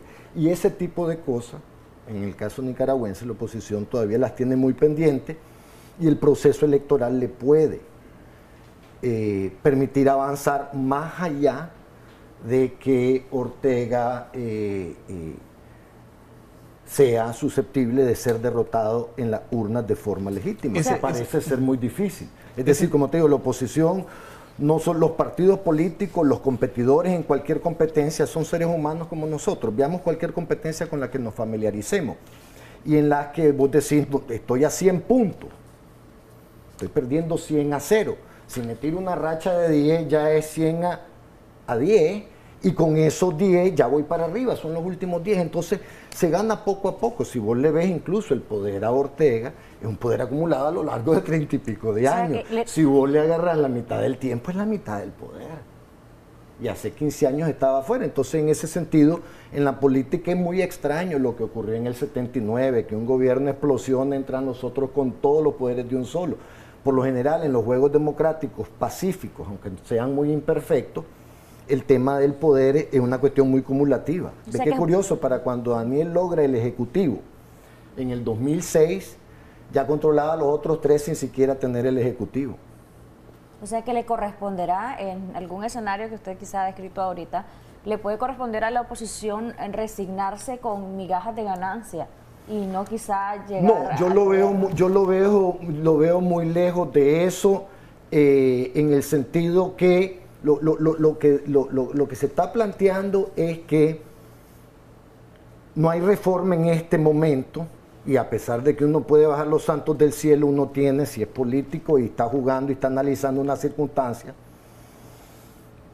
ve que el gobierno no parece, ve, el tablero, pues el gobierno parece no estar muy interesado en reforma, te muestra a lo largo de toda su historia electoral que mucho apuesta a que las filas sean muy cortas el día de las elecciones, que es otra recomendación. Si uno va eh, si, si, si uno va a manipular en algún modo el voto, lo recomendable es que no manipules el que ya se emitió. Preferiblemente tampoco manipules el de alguien que ya se puso en fila. Mejor trata de que ni lo emitan ni se te pongan en fila. Y eso hace que en la Junta, y ya emitido, solo tenés que robar un chingatito, porque ese es el visible. Ya llegué, ya voté, ya llegamos 300 aquí, y todos sabemos cómo votamos y dice allá que 400 a 0 ganó el otro. Eso, eso, eso es bien complicado. Entonces parte de la estrategia de Ortega en las elecciones anteriores, no estamos hablando, estamos hablando de cuestiones ya fácticas, históricas, es esa supresión del voto que se manifiesta en abstención. Ese, totalmente. Entonces uno supone que la falta de reforma y la posibilidad incluso de que cuando haya reforma sea contra reforma, sería muy consistente con el patrón de Ortega de mandarle mensaje a los partidos y al electorado en general de que pues tal vez quieren mejor hacer otra cosa el domingo porque no tiene ningún chiste la competencia. Esa es una estrategia concreta que cualquier partido la haría, pero cuando controlas el Estado, el mismo Estado te hace el favor de alejar al ciudadano de la Junta. ¿Querés una perla? Tenemos dos o tres campañas en que el Consejo Supremo Electoral no pone nada ni siquiera en la radio. De que hay elecciones o de que venga a cedularse o algo. ¿Me entiendes? Son, por eso te digo, hablamos con datos, ves una estrategia electoral, no es, que por primera vez corre Daniel, entonces le puedes ver 30 años de técnicas electorales que ha hecho para los periodos electorales. Entonces ahí hay un patrón que te dice, hay enormes chances de que no haya reforma. Y lo único que estamos añadiendo a la conversación es que eso no significa Ergo, que la oposición tiene que hacer lo mismo que ha hecho Ortega cada vez que Ortega hace esos llamados a la abstención tan fuertes que lo hacen porque lo hace con soporte del Estado. A eso nos referimos. Más allá de, de, qué es lo que podría la oposición sacar o no, creo que está el tema de, participar o no bajo distintas condiciones, porque sí es cierto que hay una cosa que las encuestas te reflejan que está muy diferente que en las elecciones anteriores. Y es que eh, la popularidad de Ortega está baja. ¿Qué significa eso? Ve qué curioso. Si vos sos un partido político, es que vos sos un partido político, ¿qué condición preferís? ¿Cuál es la menos mala? Una en que el sistema electoral es perfecto, pero nadie te quiere, y está muy enamorado de otro candidato y de otro partido. El sistema es perfecto, pero no tenés voto. O el sistema es muy imperfecto, pero parece que tenés mucho voto. Casi cualquier partido del mundo prefiere el segundo, para que veamos la importancia de tener pueblo por encima de la calidad de la ley electoral. Para que lo veamos. Y ese es el tema que hace que la conversación sea mucho más rica que decir si no hay reformas no votamos. Se nota un poco frío el año electoral en nuestro país, incierto por cierto, y está el tema de la encuesta que usted ha mencionado. ¿Qué tanto inciden en la población nicaragüense este tipo de resultados? En una mirábamos que más del 60% de la población nicaragüense manifiesta no creer en nadie y otros le dan cierta cantidad de votos al Frente Sandinista y al resto de organizaciones de oposición que han surgido. Se lo marcan en un dígito, de hecho, las organizaciones que han surgido a partir de abril. A ver, lo que pasa es que tener la razón antes de tiempo se parece mucho a estar equivocado. Si vos le preguntás al electorado gringo que participó en niveles muy por encima de lo normal en estas elecciones, incluyendo las minorías y los jóvenes, y vos decís, ah, debe haber sido que los candidatos eran sexy. No, no, no, hombre, eran los dos tipos más viejos, además en la historia de correr por la presidencia. Y vos decís, esos dos más, ¿de dónde santos sacaron a tanta gente a la calle? Cuando el pueblo es joven y negro y latino, y por lo general no le gustan los ancianos eh, cheles de, de, 80 años. Y entonces, eso te explica por qué perfectamente en, en todos los países del mundo terminas con dos fotos de, o tres fotos de personas que si les preguntaba seis, ocho meses antes, ¿será que podemos conseguir una mejor foto? Casi todo el mundo te decía, sí, hombre. Claro que deberíamos de tener un mejor candidato que este, pero sin embargo llega las elecciones y la gente participa porque hay un decantamiento siempre.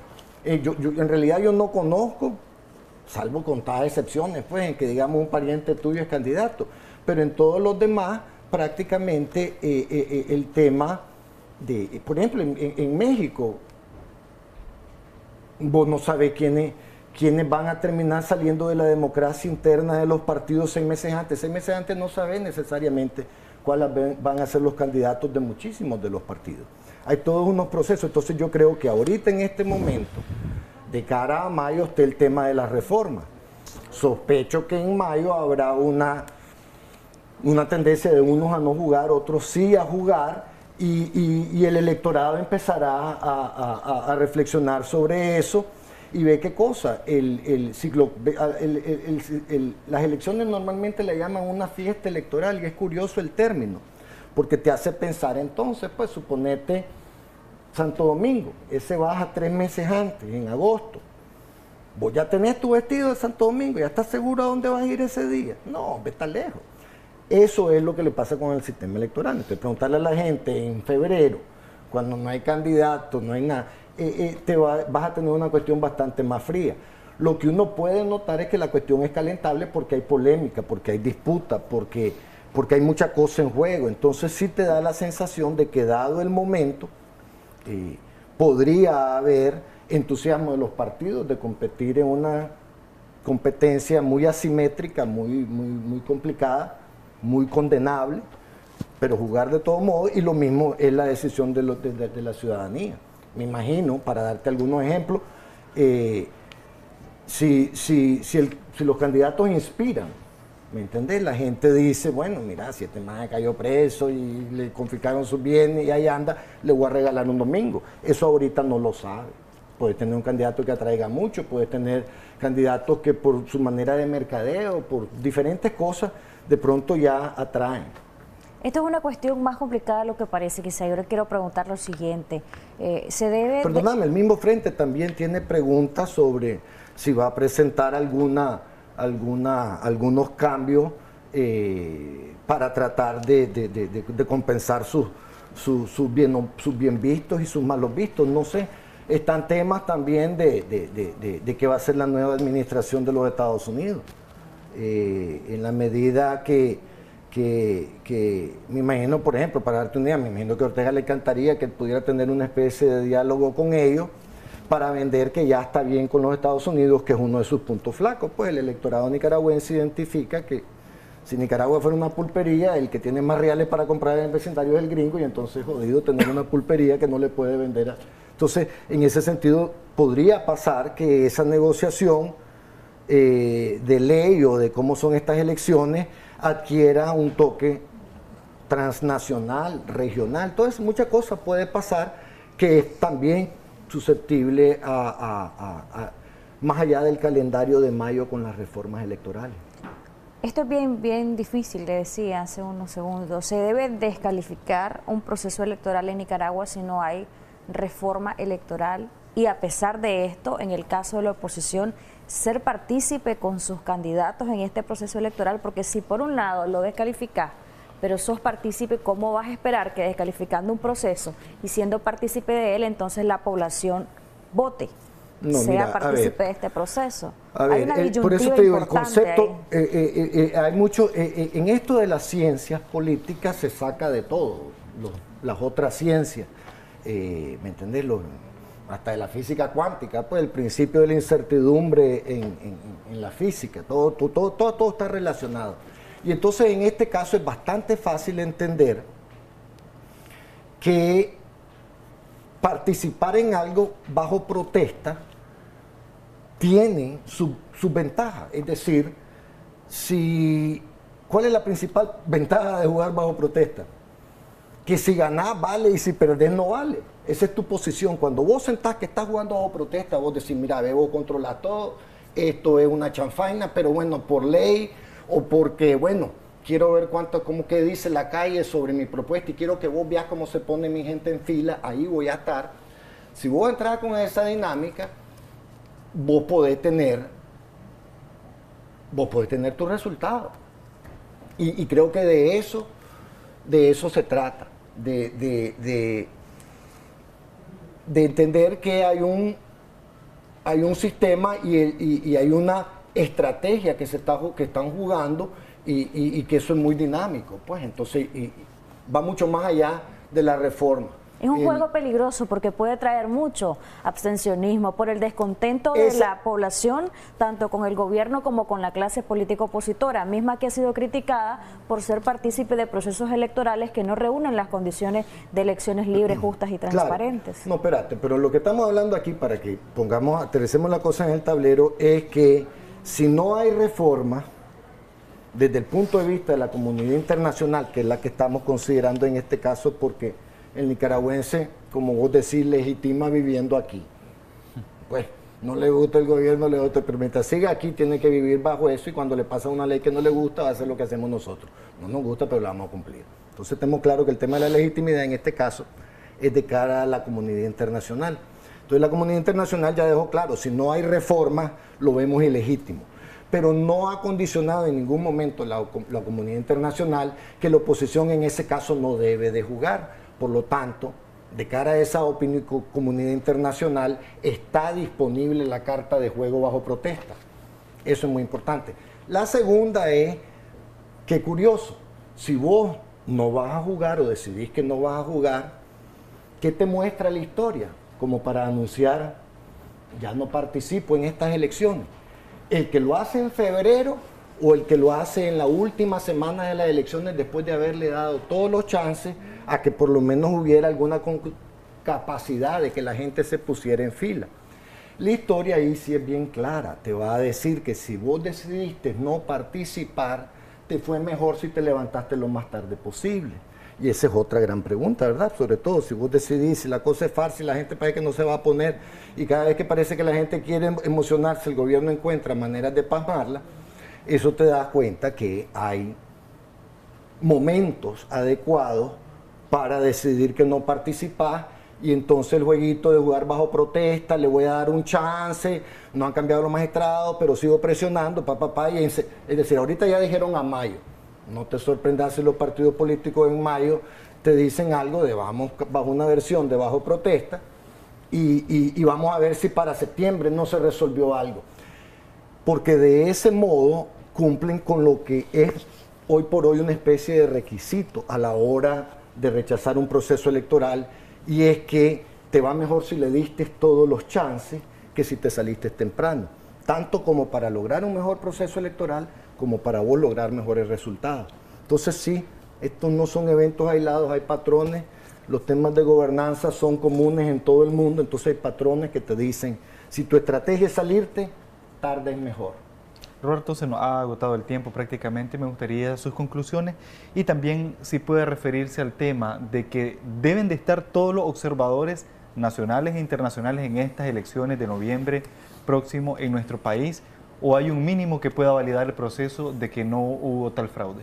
Mira, hay una cosa bien sencilla en este punto y es que en todos los lugares donde la ley es mala, muy mala, pésimamente mala, esas elecciones, si se le permite observación, tienen serias posibilidades de que si el informe de observación dice que la cosa está lo suficientemente decente, sean aceptadas.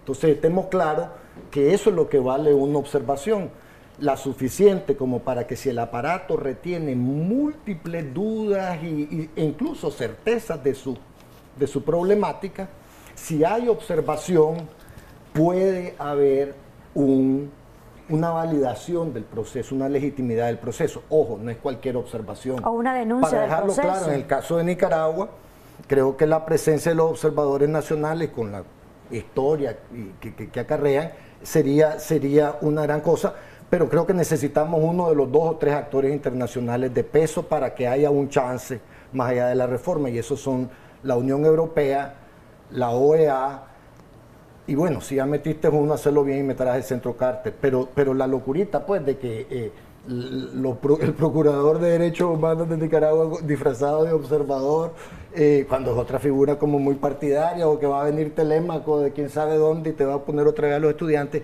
ese no es el tipo de observador que el observador. En ese sentido, tampoco ética y transparencia sería suficiente. Necesitamos actor internacional de peso. O Evo Morales, por ejemplo, en las elecciones de... Para que nos demos una idea. Bueno, muchísimas gracias, por habernos acompañado. Y recuerde que usted puede seguir nuestra transmisión a través de las redes sociales. Estamos como Canal 10 Nicaragua. A continuación, le presentamos la interacción con nuestros invitados del día viernes. Nos acompañó en la primera parte el periodista Aníbal Toruño de Radio Darío. Un total de 65.663 personas alcanzadas, 14.793 interacciones, generó esta entrevista un total de 270 comentarios y fue compartida 65 ocasiones. También nos acompañó el economista Enrique Sáenz. Un total de 47.633 personas alcanzadas, 2.325 interacciones, generó 7 comentarios y fue compartida 23 ocasiones, siempre invitándoles a quienes nos siguen a través de las redes sociales. Estamos como Canal 10 Nicaragua. De esta manera nos vamos a una breve pausa comercial. Usted quédese con nosotros, ya volvemos.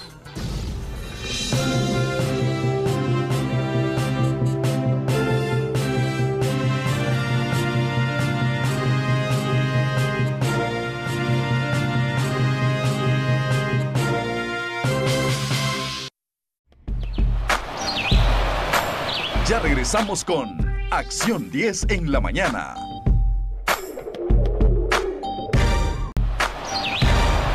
Continuamos con Acción 10 en la mañana.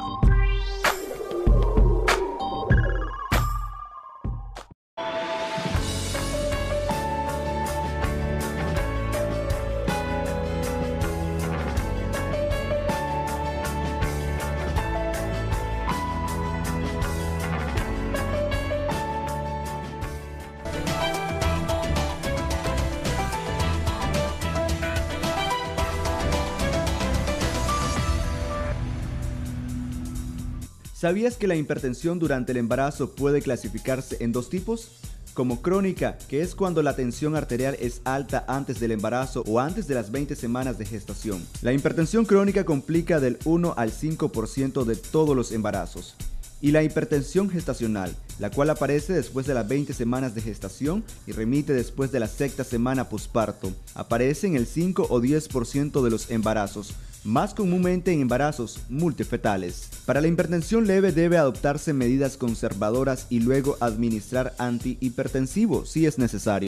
Quédese en la siguiente entrevista donde abordaremos el tema. Christopher Guevara, Acción 10.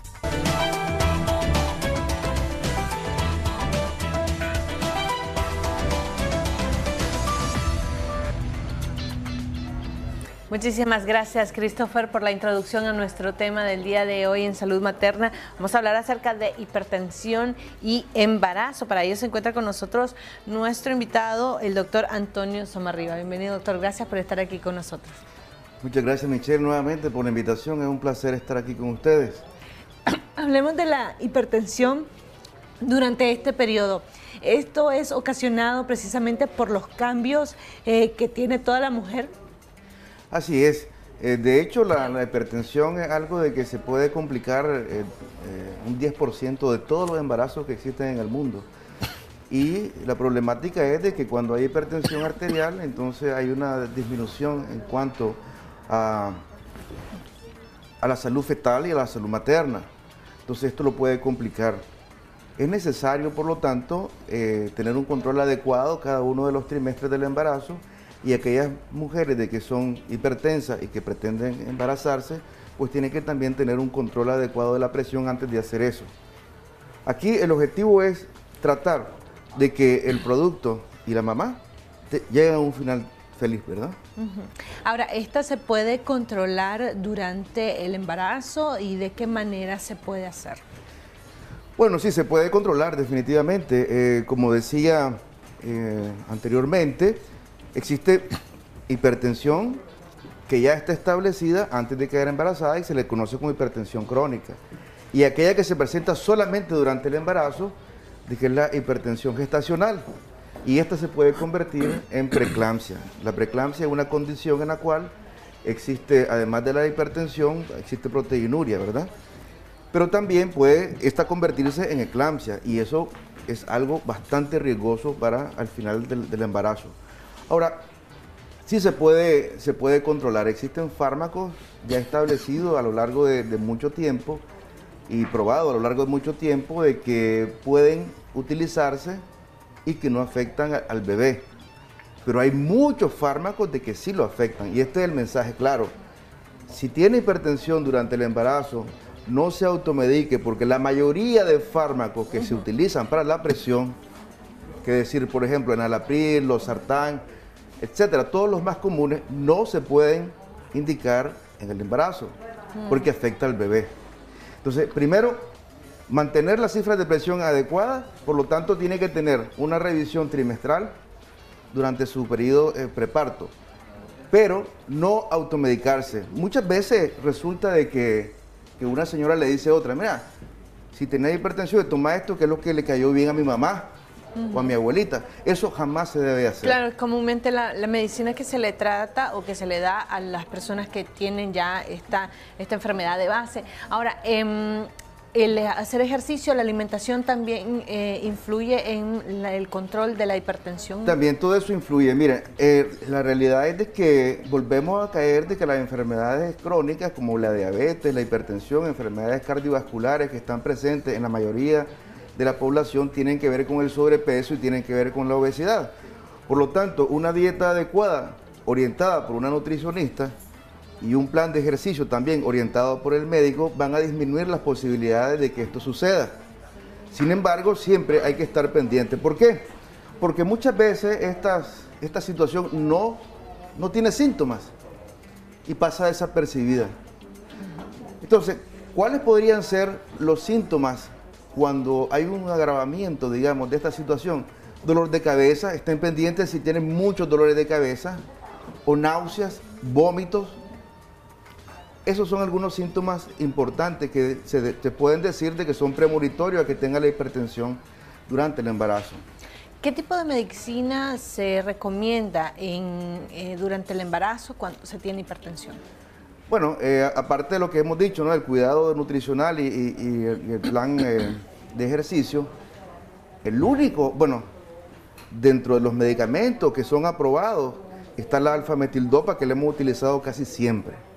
Pero tampoco es de que todas las pacientes que tengan hipertensión durante el embarazo van a usar alfa-metildopa, sino que existen algunos parámetros que solo el médico obstetra, el nefrólogo, lo puede determinar en qué momento va a utilizar ese fármaco y cuál es la dosis adecuada de ese fármaco. Por lo tanto, yo no quiero decir más, fármaco porque no vaya a ser de que vayan a agarrarlo como, ah, voy a ir a comprar esto. No, tiene que ser extremadamente supervisado y recetado por el médico para que así no haya complicaciones. Ahora, una vez eh, concluido el embarazo, eh, ¿la hipertensión puede desaparecer en las pacientes? Excelente pregunta.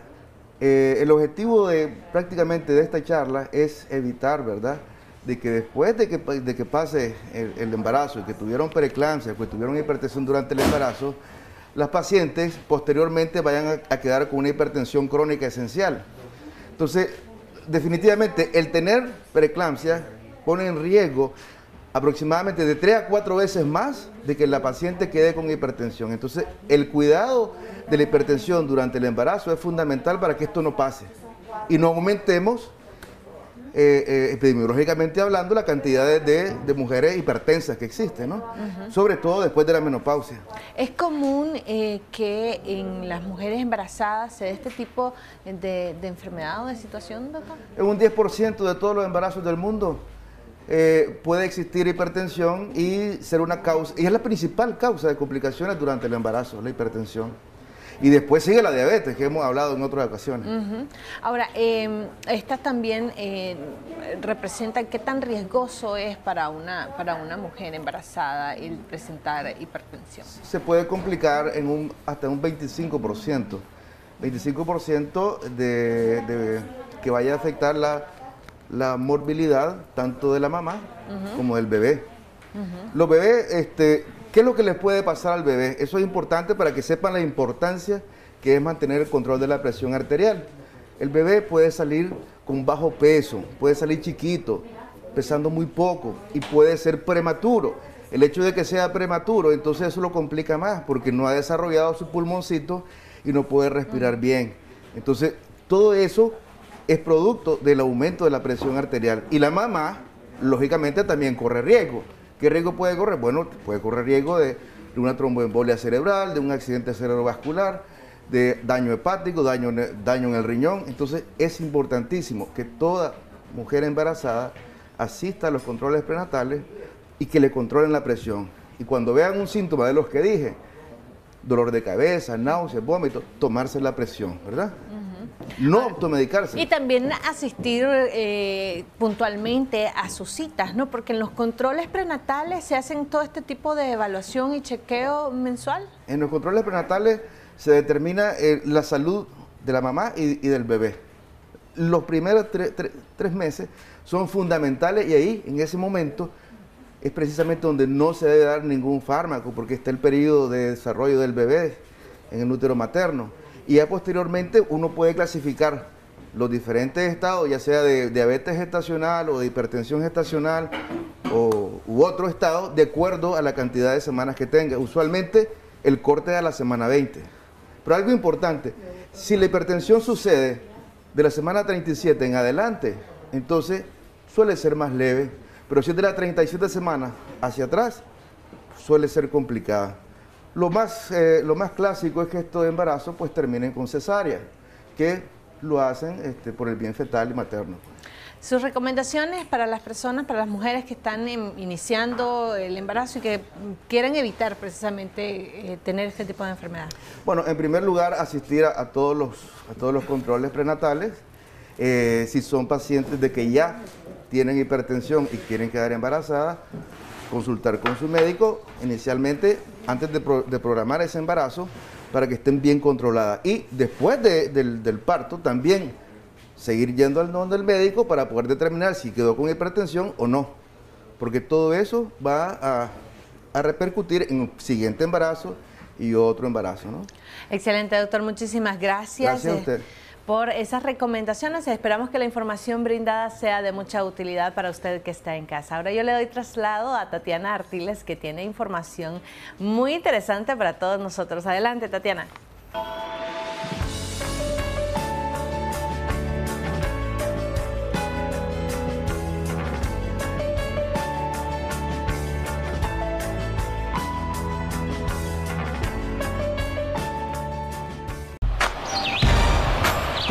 Continuamos con Acción 10 en la mañana.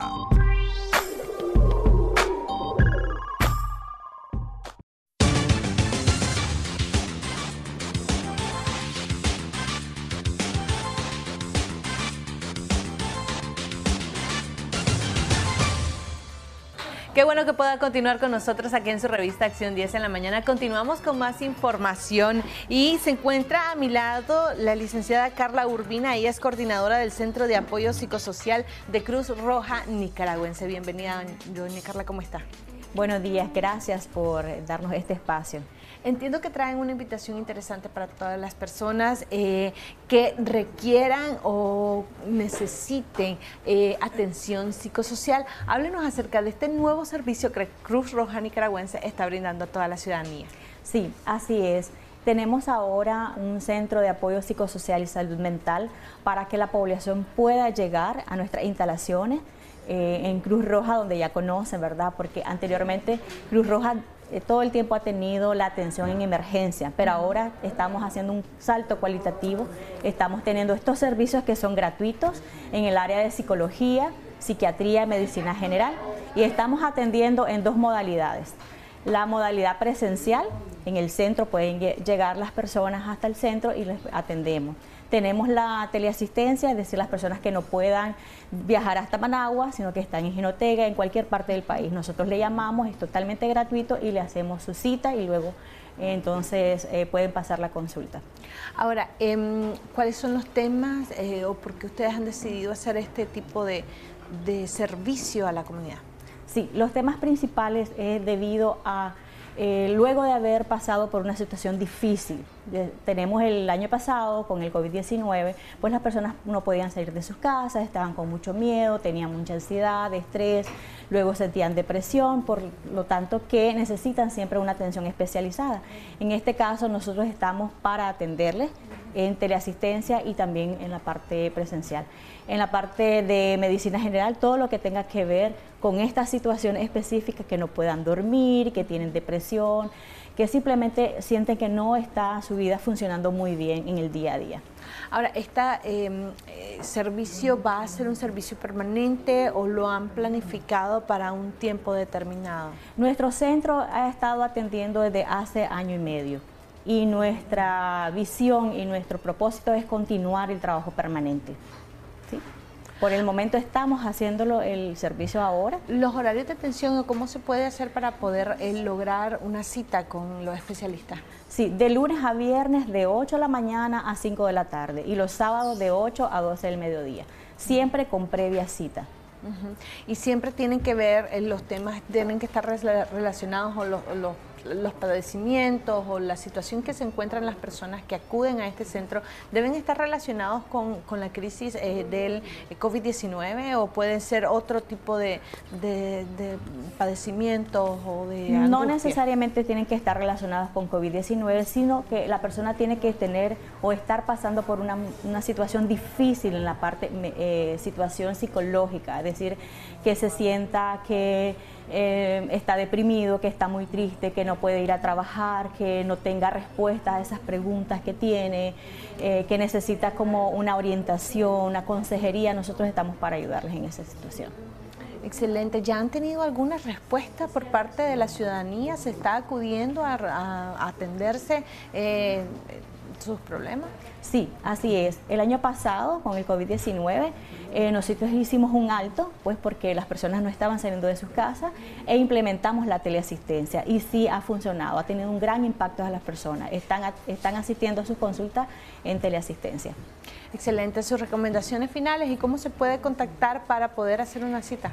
Sí, eh, les estamos esperando en Cruz Roja. Me gustaría que te prestes mucha atención. Me imagino que vos también eh, querés llevar unas finanzas personales de la mejor manera para no terminar ahogada en este 2021. Pues bien, de eso vamos a hablar con nuestra siguiente invitada que ya se encuentra vía Skype. Ella es Gisela Canales, quien nos estará hablando acerca de cómo calendarizar los gastos y no endeudarnos en este año.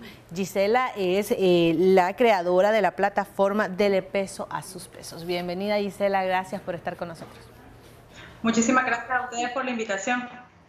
Gisela, hablemos acerca de esto, el tema de calendarizar nuestros gastos. ¿A qué te referís o a qué se refieren cuando nos dicen que debemos organizar eh, los gastos y calendarizarlos?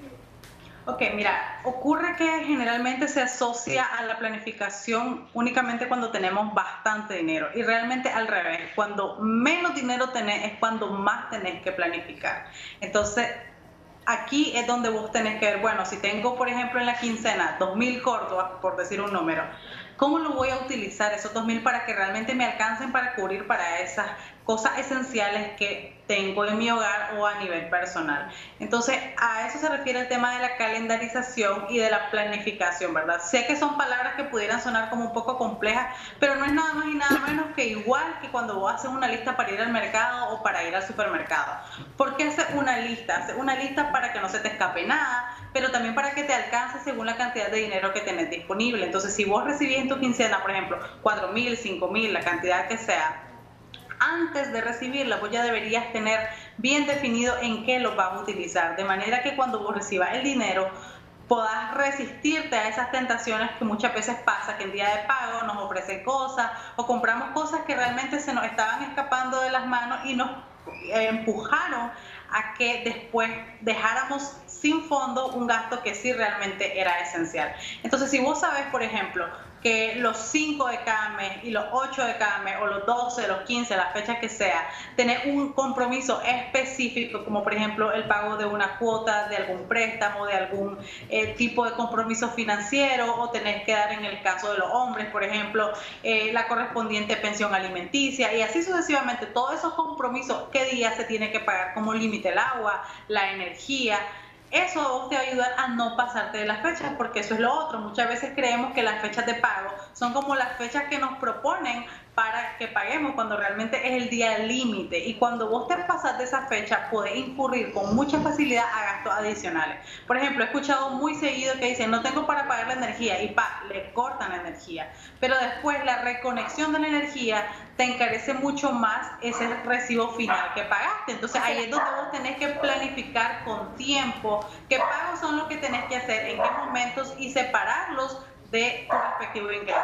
Isela, es importante eh, hacer anotaciones de esto. Vos mencionabas, eh, por ejemplo, el tema de la fecha límite de corte, que muchas veces eh, pasa desapercibida y se, recuerda uno hasta que ya está, ya recibís, por ejemplo, el primer aviso de corte. ¿Qué tan importante es el plasmarlo de manera física, los límites de los pagos? Pues mira, la ventaja es que ahora que tenemos el celular prácticamente todo el tiempo en nuestras manos, es como más sencillo incluso de poner la alarma según tu fecha. Digamos, si yo ya sé que el 5 tengo que pagar la energía, desde el 4, el 3, incluso antes, según tu fecha de pago o la fecha en la que recibís tus ingresos, puedes poner las respectivas alarmas o avisos para que no se te escape. Eh, no sé si te referías con lo de los temas de las fechas de corte y demás, también se me vino a la mente el tema de las tarjetas de crédito, que un mal muy frecuente que se nos olvide la fecha de pago cuando realmente tu estado de cuenta te dice igual el día límite, pero vos podés pagar antes. Si vos, por ejemplo, recibiste tu pago el 15 del mes y a vos eh, te cita tu estado de cuenta como fecha límite de pago el 20, perfectamente tener 20, perdón, tener 5 días para llegar hasta el 20, de manera que entre tu fecha de pago que recibís tus ingresos y la fecha en la que tenés que hacer el respectivo pago de la tarjeta, no te vaya a ocurrir ese cargo adicional. Y es aquí donde realmente puedes usar, ya sea tu celular, escribirlo en alguna libreta que vos puedas tener todo el tiempo con vos de preferencia. Hay personas que todavía usan agenda física, también lo puedes hacer en una agenda. Lo que a vos se te haga más sencillo. Y recorden, recordemos esto, tanto para el autocontrol de los gastos como para la planificación, entre mucho en juego que tanto nos conocemos. Si yo sé que, por ejemplo, eh, a mí no me funciona usar una agenda eh, física, porque estoy, tal vez dejo tirado en cualquier lado los cuadernos quedando en la mano, sé que no me va a funcionar, pero sí sé que mi celular lo voy a tener todo el tiempo. Entonces voy a usar mi celular como una herramienta de planificación, no únicamente como una herramienta de ocio, que es como para lo que generalmente lo usamos. Y realmente el celular tiene un sinnúmero de funciones que te pueden ayudar a mejorar la forma en la que administras tu dinero. Gisela, ya para finalizar, recomendaciones eh, de cara a lograr esta calendarización de los pagos y de las deudas. Ok, em, lo primero es siempre hacer un plan. Yo sé que puede sonar eh, repetitivo, pero por experiencia propia y por las asesorías que realizamos, hemos comprobado que es la única forma en la que puedes garantizar dos cosas. Primero, que te alcance la cantidad disponible que tenés, en este caso tu quincena o tu salario mensual o la remesa que recibís, el ingreso que vos tengas, pensión, etcétera. Y segundo, tratar de organizar esas fechas. A propósito de lo que mencionabas del tema de la calendarización. Entonces, trata siempre de, antes de recibir tus ingresos, independientemente de cuál sea, hacer esa lista de en qué va a usar ese dinero para que cuando llegue esa, esa, cantidad que vos estás proyectando, únicamente vayas marcando ya esto ya lo hice, esto otro ya lo hice y puedas cumplir tanto con tus compromisos financieros como con tus gastos y logres ajustar eh, la cantidad de dinero disponible. ¿Cómo nos ayuda esto? Porque si vos haces ese plan anticipado y yo me, doy cuenta que, por ejemplo, el plan dice de que voy a gastar 4.500 y tal vez mi quincena son 4.000, quiere decir que obviamente tengo que hacer algún ajuste. Pero imagínense que ese mismo ejercicio lo haga hasta que ya estoy desembolsando el dinero, pues me van a hacer falta los 500 cortos y voy a dejar algún gasto en el aire. Entonces, esto es lo que nos evita la planificación, que dejemos algo imprevisto, que dejemos algo desprotegido. Entonces voy a empezar a apuntar, bueno, 400 de energía, 100 de agua, por decir algo, ¿verdad? Tanto de compra en el supermercado o en el mercado. Y así vos vas cuadrándote o ajustándote según tu posibilidad. Perfecto, muchísimas gracias por esas recomendaciones. Esperamos que la información sea de utilidad para usted. Vamos a hacer una pausa comercial, ya regresamos con mucho más.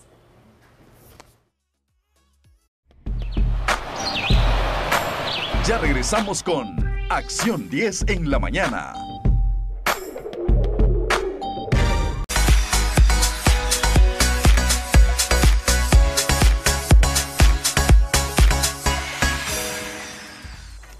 Gracias, Tatiana. Y bueno, estamos en el mes del amor y la amistad y vamos a hablar en Camino al Éxito acerca de el amor y las culturas. Para eso ya se encuentra con nosotros nuestro conferencista internacional, Natanael Osorio. Bienvenido, Nati. Muchas gracias, Michelle. Hace rato quiero hablar un poco de este tema porque yo creo que hemos dejado a un lado lo que es el significado del amor y lo que conlleva el amor y, todo el proceso del matrimonio, del el enamoramiento y, la cultura ha cambiado muchísimo hoy en día con respecto a cómo expresamos amor. Ahora, eh, ¿qué está pasando y qué es lo que me llama mucho la atención y lo que me pone a veces en alerta? Es que las personas hoy en día ya no se quieren casar. Y es, sí, eh, yo sé que puede sonar extraño, Ah. pero los jóvenes no quieren casarse hoy en día. Están con la Pero no es de... que estás, no, yo, yo creo que los jóvenes actualmente lo que están haciendo es cambiando su orden de prioridades.